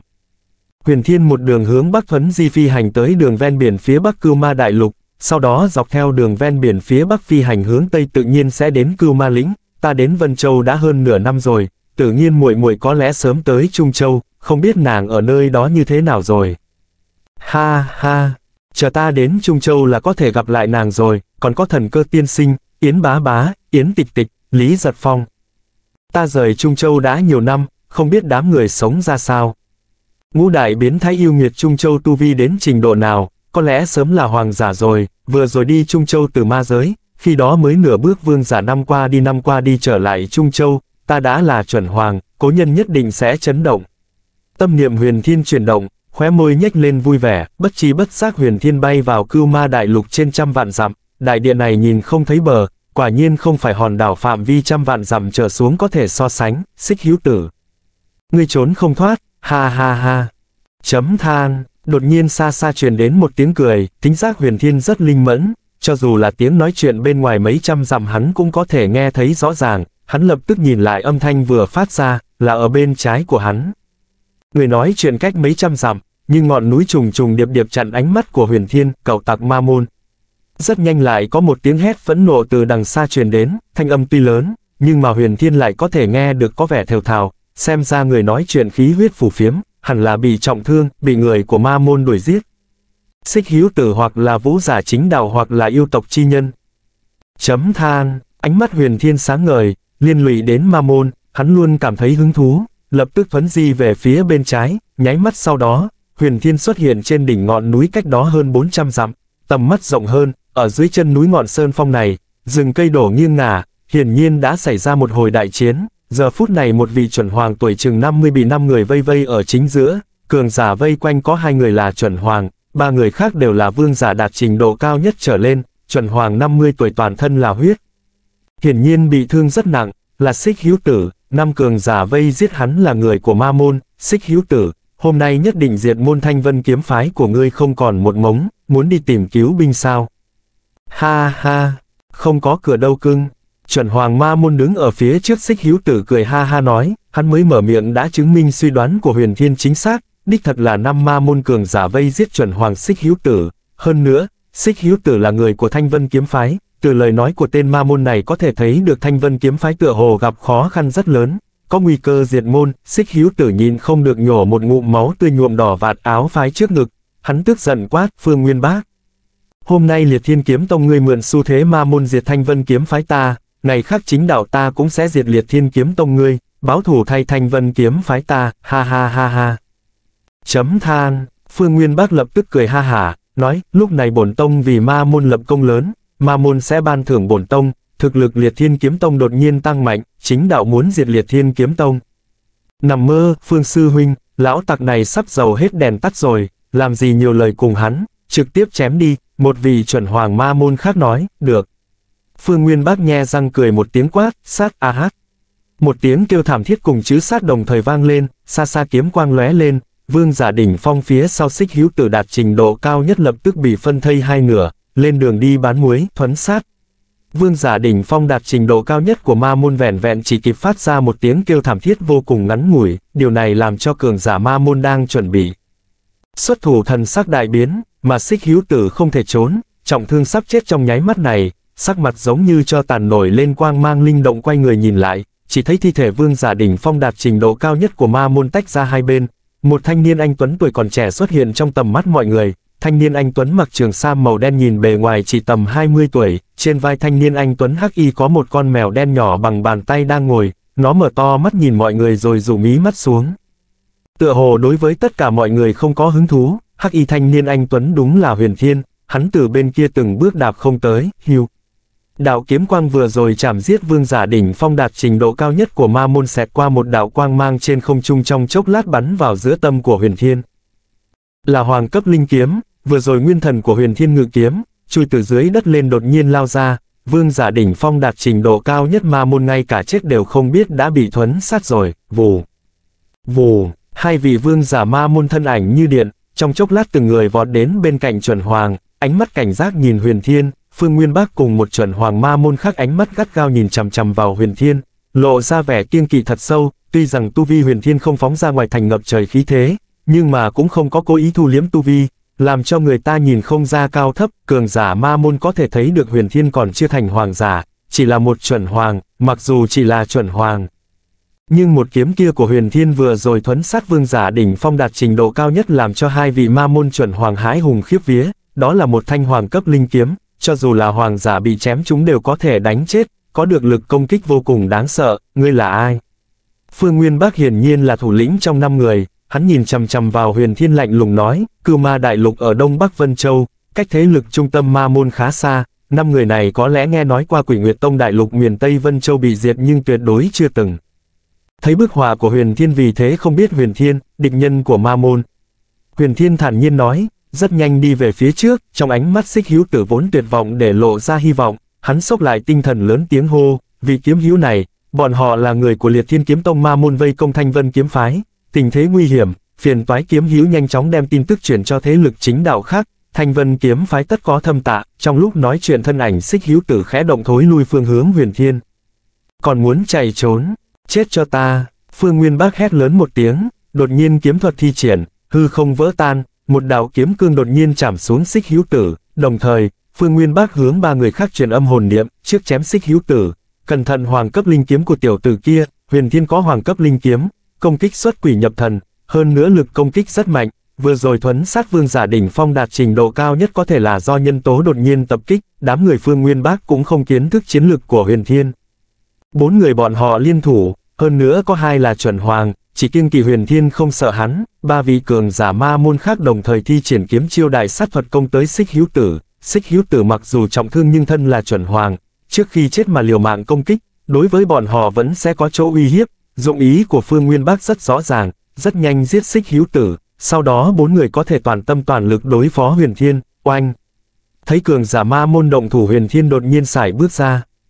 Mạnh mẽ đạp đại địa một cái, hét lớn một tiếng, trong chốc lát sóng âm trong không khí cuồn cuộn, cả vùng đất dùng huyền thiên làm trung tâm xuất hiện một vòng gợn sóng khủng bố kinh thiên động địa, biển gầm núi lở cũng không gì hơn cái này, vô luận là xích hữu tử hay là bốn vị cường giả ma môn đứng trên mặt đất hay là bay lên bầu trời, thân thể đều đột nhiên nhoáng một cái, di động cũng tốt, thì triển kiếm chiêu cũng thế lập tức rối loạn, mà lúc này trong tay huyền thiên đột nhiên nhiều hơn một chuôi hoàng cấp bảo kiếm. Hắn liên tục bổ ra vài kiếm, siêu, xíu, siêu, xíu, hưu, chấm, từng đạo kiếm quang thoáng hiện, cắt đứt tầng tầng hư không, những kiếm quang này không chém thẳng hay ngang mà hoạch xuất từng đạo đường cong quý tích trong hư không vượt qua xích hiếu tử trong chốc lát đụng vào kiếm thuật bốn vị cường giả ma môn thi triển, ba ba ba ba ba. Chấm, kiếm quang đảo qua, công kích của cường giả ma môn lập tức sụp đổ, nhưng mà kiếm quang của huyền thiên không giảm, trong chốc lát bổ đến trước mắt bốn vị cường giả ma môn, trong chốc lát, bốn vị ma môn cường giả, trong mắt chỉ còn lại có cả kinh cùng sợ hãi, đây. Là kiếm thuật gì, ma môn ma môn bạo lui, thậm chí, thì triển thuấn di nghiền nát hư không, nhưng mà hư không vô cùng chắc chắn, căn bản không cách nào thuấn di, tốc độ đám người lui về phía sau không thể so với tốc độ kiếm quang huyền thiên bổ ra, lập tức tiếng kêu thảm thiết liên tục vang lên, kiếm quang quá nhiều, một đạo lại có một đạo, hơn nữa quý tích công kích thành đường cong hình cung ẩn chứa đạo vận, căn bản không cách nào phán đoán kiếm quang đến tột cùng công tới đâu.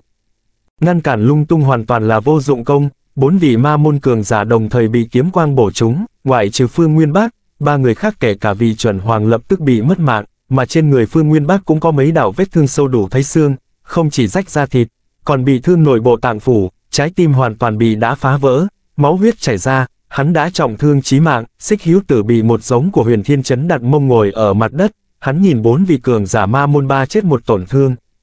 trong mắt xuất hiện vẻ khó tin, cho dù là hoàng giả cấp một đều khó có khả năng gọn gàng như thế, một kiếm vượt qua hắn chém giết ba cường giả ma môn, làm trọng thương một người, thanh niên anh Tuấn có thể là yêu nghiệt nghịch thiên vượt cấp chiến đấu. Trong lòng xích hữu tử hung hăng nhảy dựng lên, ma môn có hậu bối yêu nghiệt có thể siêu cấp chiến đấu, chính đạo cũng có, chỉ là số lượng rất ít, yêu nghiệt nghịch thiên bên trong chính đạo không người nào là xuất từ hoàng phẩm thế lực đạt trình độ cao nhất. Hơn nữa là đại nhân vật uy danh đã sớm truyền khắp, người thanh niên này là hậu bối thiên tài của thế lực phương nào. Trong lòng xích hữu tử suy nghĩ, nhưng mà ai cũng nghĩ thanh niên anh Tuấn khó có thể chống lại cường giả ma môn, trước mắt thanh niên anh Tuấn quá trẻ tuổi, nhìn bề ngoài mới chừng 20, nếu là hoàng giả thì cũng bình thường, bởi vì thành hoàng giả thoạt nhìn chừng 20, tuổi thực khả năng đã 40-50 tuổi, mà thanh niên anh Tuấn mới là chuẩn hoàng chỉ có 200 năm thọ nguyên, niêm kỷ mới chừng 30 là cùng, chuẩn hoàng chừng 30 tuổi, tựa hồ quá mức dọa người rồi. Cho dù là thiên tài yêu nghiệt đệ nhất chính đạo thời điểm trở thành chuẩn hoàng cũng trên 30, thời điểm xích hữu tử khiếp sợ huyền thiên một bước tới bên cạnh hắn, ném ra một viên đan dược, ăn đi.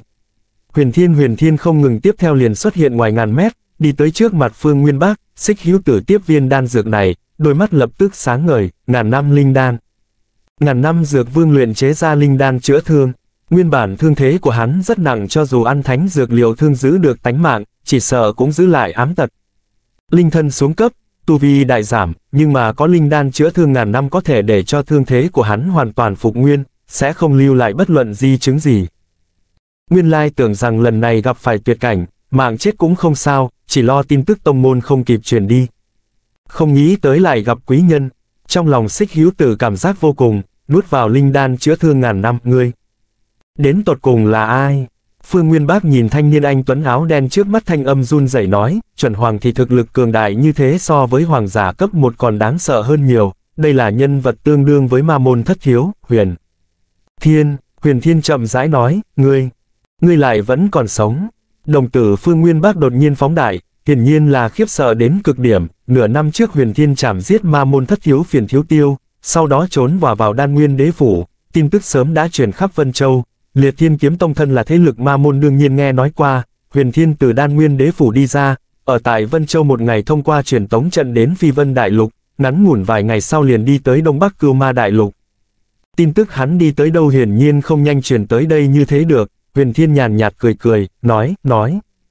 Liệt Thiên Kiếm Tông tại sao diệt Thanh Vân Kiếm Phái, theo ta được biết, thế lực ma môn bên trên Cưu Ma Đại Lục tuy rằng mạnh hơn thế lực chính đạo chút ít, nhưng không thể làm càn.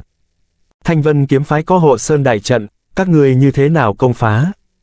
Ai đang giúp đỡ bọn ngươi? Thần sắc Phương Nguyên Bác đột nhiên nghiêm túc lên nói, chuyện này không liên quan tới ngươi, là người một trong âm ma tông của ma môn thất tông, có một vị tứ cấp hoàng giả cùng hai vị tam cực hoàng giả trợ giúp liệt thiên kiếm tông, bằng không thì đám người công không phá được hộ sơn đại trận của bổn phái.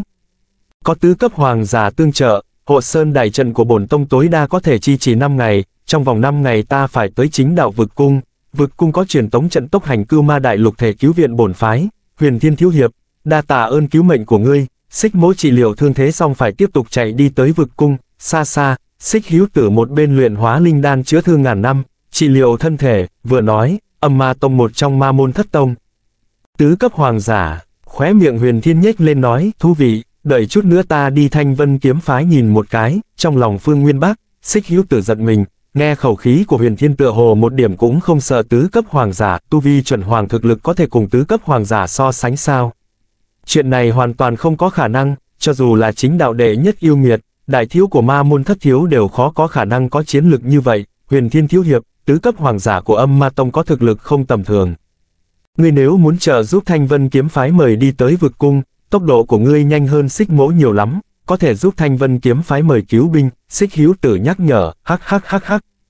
Không còn kịp rồi, Phương Nguyên Bắc cười lạnh, vì tiền bối kia của âm ma tông tinh thông trận pháp, thời gian phá trận ít nhất phải rút ngắn một nửa, tối đa hai ngày thôi, hộ sơn đại trận của Thanh Vân kiếm phái sẽ bị phá.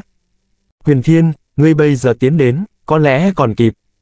Không có khả năng, xích hiếu tử quát một tiếng, thương thế của hắn khôi phục rất nhanh, khí huyết càng ngày càng sung túc, nói, huyền thiên thiếu hiệp, ngươi đừng nghe hắn nói bậy, hộ sơn đại trận thanh vân kiếm phái ta há lại dễ dàng phá bỏ như thế, hắn muốn lừa ngươi tiến đến, tự đưa dây vào miệng cọp, phương nguyên bác hừ nhẹ một tiếng, cười lạnh nói, xích hữu tử, ngươi không phải đối với thanh vân kiếm phái rất nặng lòng nguyện ý dâng ra tánh mạng sao, vì huyền thiên thiếu hiệp tiến đến thanh vân kiếm phái. Có lẽ có thể vì thanh vân kiếm phái tranh thủ một ít thời gian, hắc hắc. Vì tiền bối kia của âm ma tông là một vị trận pháp tông sư, tên là Cảnh Vũ Thanh, ngươi nếu không cô lậu quả văn có lẽ nghe nói danh hào của cảnh tiền bối, cái gì, vị tứ cấp hoàng giả chính là Cảnh Vũ Thanh. Xích hữu tử thét lên một tiếng kinh hãi, hiển nhiên lời phương nguyên bác nói không giả, Cảnh Vũ Thanh này, huyền thiên từng siêu hồn thái thượng trưởng lão thái thượng trưởng lão quỷ nguyệt tông cũng có chỗ hiểu rõ, tuy rằng tứ cấp hoàng giả toàn bộ ma môn chưa tính là đại nhân vật chính thức, nhưng mà người này thanh danh rất lớn chính là vì tinh thông trận pháp, một vị trận pháp. Sư hoàn toàn có thể lợi dụng trận pháp vượt cấp giết địch, lại nói tiếp, cảnh Vũ Thanh khả năng đáng sợ hơn cả ngũ cấp hoàng giả, bất quá trận pháp sư cường đại là vì trận pháp lợi hại, nếu có thể phá vỡ trận pháp, chẳng khác nào nhổ sạch răng nhọn móng sắc của con cọp không có gì khác vũ giả bình thường. Thần sắc bình tĩnh huyền thiên thần sắc bình tĩnh nói, tổng bộ âm ma tông xa Vân Châu Trung Bộ, tại sao phải ức giảm xa xôi đi vào cưu ma đại lục giúp liệt thiên kiếm tông diệt sát thanh vân kiếm phái. Diệt một hoàng phẩm thế lực, thế tất khiến cho chính đạo phản kích, đây là muốn khơi mào chính đạo cùng ma môn đại chiến. Lúc đó ma môn cũng gặp phải trả một cái giá lớn thê, vì thế hoàng giả âm ma tông không có khả năng vô duyên vô cớ chạy tới cưu ma đại lục diệt thanh vân kiếm phái, trong đó nhất định có nguyên nhân. Nói, đây là vì sao? Trong lòng Phương Nguyên Bắc tuy rằng sợ hãi, nhưng lại cũng tin tưởng tình cảnh của mình, tự biết chạy trốn vô vọng, dứt khoát đem sinh tử không để ý, hắn lạnh lùng cười nói, âm ma tông là một trong ma môn thất tông, người phát lệnh là ma môn, hạ lệnh muốn chúng ta diệt thanh vân kiếm phái, chúng ta phải diệt thanh vân kiếm phái. Đây chính là nguyên nhân, hắc hắc. Huyền Thiên, ngươi muốn biết rõ ràng hơn, có thể đến hỏi cảnh Vũ Thanh tiền bối, hắn là cao tầng âm ma tông. Ngươi muốn biết cái gì, hắn đều có đáp án. Chấm than, Phương Nguyên Bác vô cùng khẳng định, Huyền Thiên không phải đối thủ của cảnh Vũ Thanh, cho dù chết rồi cũng muốn để cho Huyền Thiên đến Thanh Vân kiếm phái chịu chết, cảnh Vũ Thanh sao, ta tự nhiên sẽ đi Thanh Vân kiếm phái hỏi hắn, về phần ngươi. Chấm, trong ánh mắt Huyền Thiên lóe lên hào quang, ngươi biết cái gì, tự mình nói ra, trong lúc nói chuyện, Huyền Thiên một bước về phía trước, trong tay đột nhiên xuất hiện một hoàng cấp bảo kiếm. Một kiếm đâm xuyên thấu đan điền của Phương Nguyên Bác dính chặt hắn xuống mặt đất, cùng lúc đó chỗ mi tâm Huyền Thiên lóe lên hỗn độn quang mang, một Huyền Thiên nho nhỏ cầm hỗn độn chi kiếm vọt ra, là hỗn độn nguyên thần, trong chốc lát, hỗn độn nguyên thần liền xông vào trong nội tâm giữa lông mày của Phương Nguyên Bác, siêu hồn. Huyền Thiên trực tiếp siêu hồn hắn, ở bên trong mi tâm Phương Nguyên Bác là một thanh trường kiếm bạch ẩn chứa dương chi áo nghĩa, là dương chi kiếm hồn. Hết tập 75